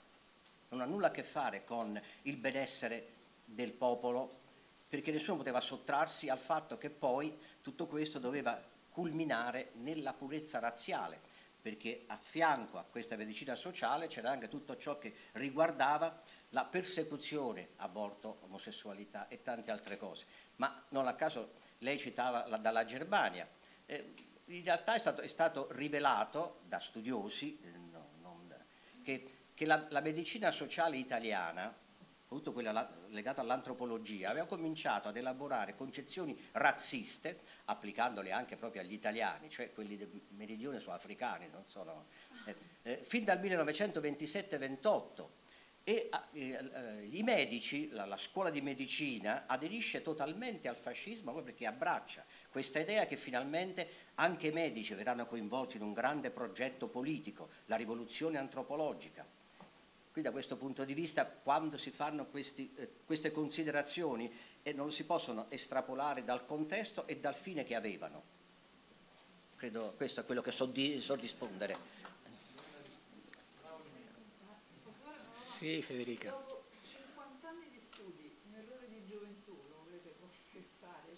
Un, mio... Una lettura data all'inizio del vostro percorso? No, no, l'unico errore di gioventù che ho, messo, che ho commesso è quello di avere abbandonato la pittura per la quale avevo del talento per dedicarmi alla storia pensando che fosse una sorta di mio dovere eh, civile. civile. Cioè una lettura che si è rivelata poi errata nel corso degli anni. Ah beh, tutto quello che pensavo fino al 1975 io ero un pessimo illuminista razionalista che considerava tutto ciò che era mitologia, eh, credenze religiose, immondizia che non riguardavano la storia. Sì, perché quando ho scritto il libro sull'ideologia fascista, il primo libro in cui se non altro mi ero posto il problema se c'è una massa di uomini che governa un paese, ma che cosa devono avere in comune, andiamolo a cercare, però era basato esclusivamente sui testi verbali e letterari e qualcosa mi sfuggiva.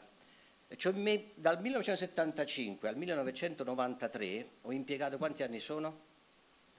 Insomma, tanti anni per capire che più che la parola scritta era la parola simbolica, era il rito che era importante. Ho scritto il culto del littorio. Perché? Perché ho conosciuto uno storico, cui sono diventato amico, George Mosse, e lui mi derideva per il mio... Eh, il, il, lui era illuminista pure lui, però diceva l'illuminista completo non può fare Voltaire e deridere la religione. E mi fece capire che ero piuttosto limitato nel cercare in fenomeni come il fascismo la, eh, teorica. Allora mi sottoposi, come era giusto, che Mosse lo, con, lo conobbi negli anni Ottanta, non ad una improvvisazione, ma a lavorare sistematicamente su tutto ciò che nel fascismo era simbologia, ritualità, eccetera, e venne fuori un altro libro. Però se avessi continuato a fare il pittore, forse ora avrei una piccola saletta una piccola scuola di Boiano dedicata ai miei ah, quadri, invece non c'è neanche una biblioteca dove ci siano i miei libri. Per...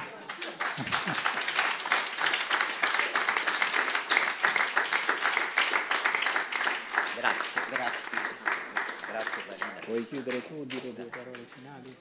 Io ringrazio Emilio e Luciano, è stata veramente un'occasione molto importante anche per dire, raccogliere le idee con una visione d'insieme ehm, che non ha avuto momenti di sosta, anche diciamo, condotta in maniera eh, positivamente aggressiva. E secondo me è molto importante eh, eh, seguire un filo eh, senza abbassare fondamentalmente i toni e la guardia.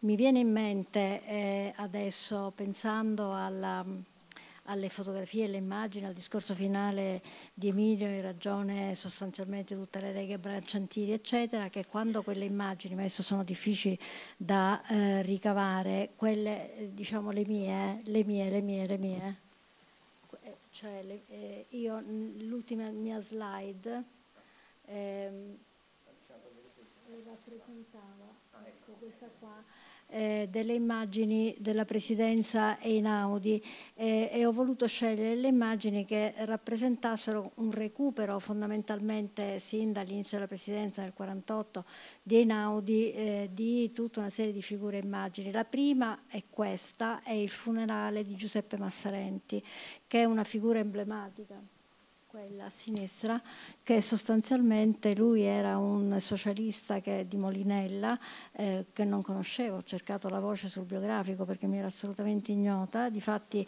ehm, è impressionante Einaudi bacia la salma, eh, che è un, un'immagine fortemente simbolica che si era adoperato per l'appunto leghe contadini, bracciantini eccetera, che durante il fascismo viene praticamente fatto, viene considerato un esaltato e vive praticamente a Santa Maria della Pietà, finché dopo, alla fine del fascismo, viene riabilitato, riconsiderato testa pensante, muore nel 50.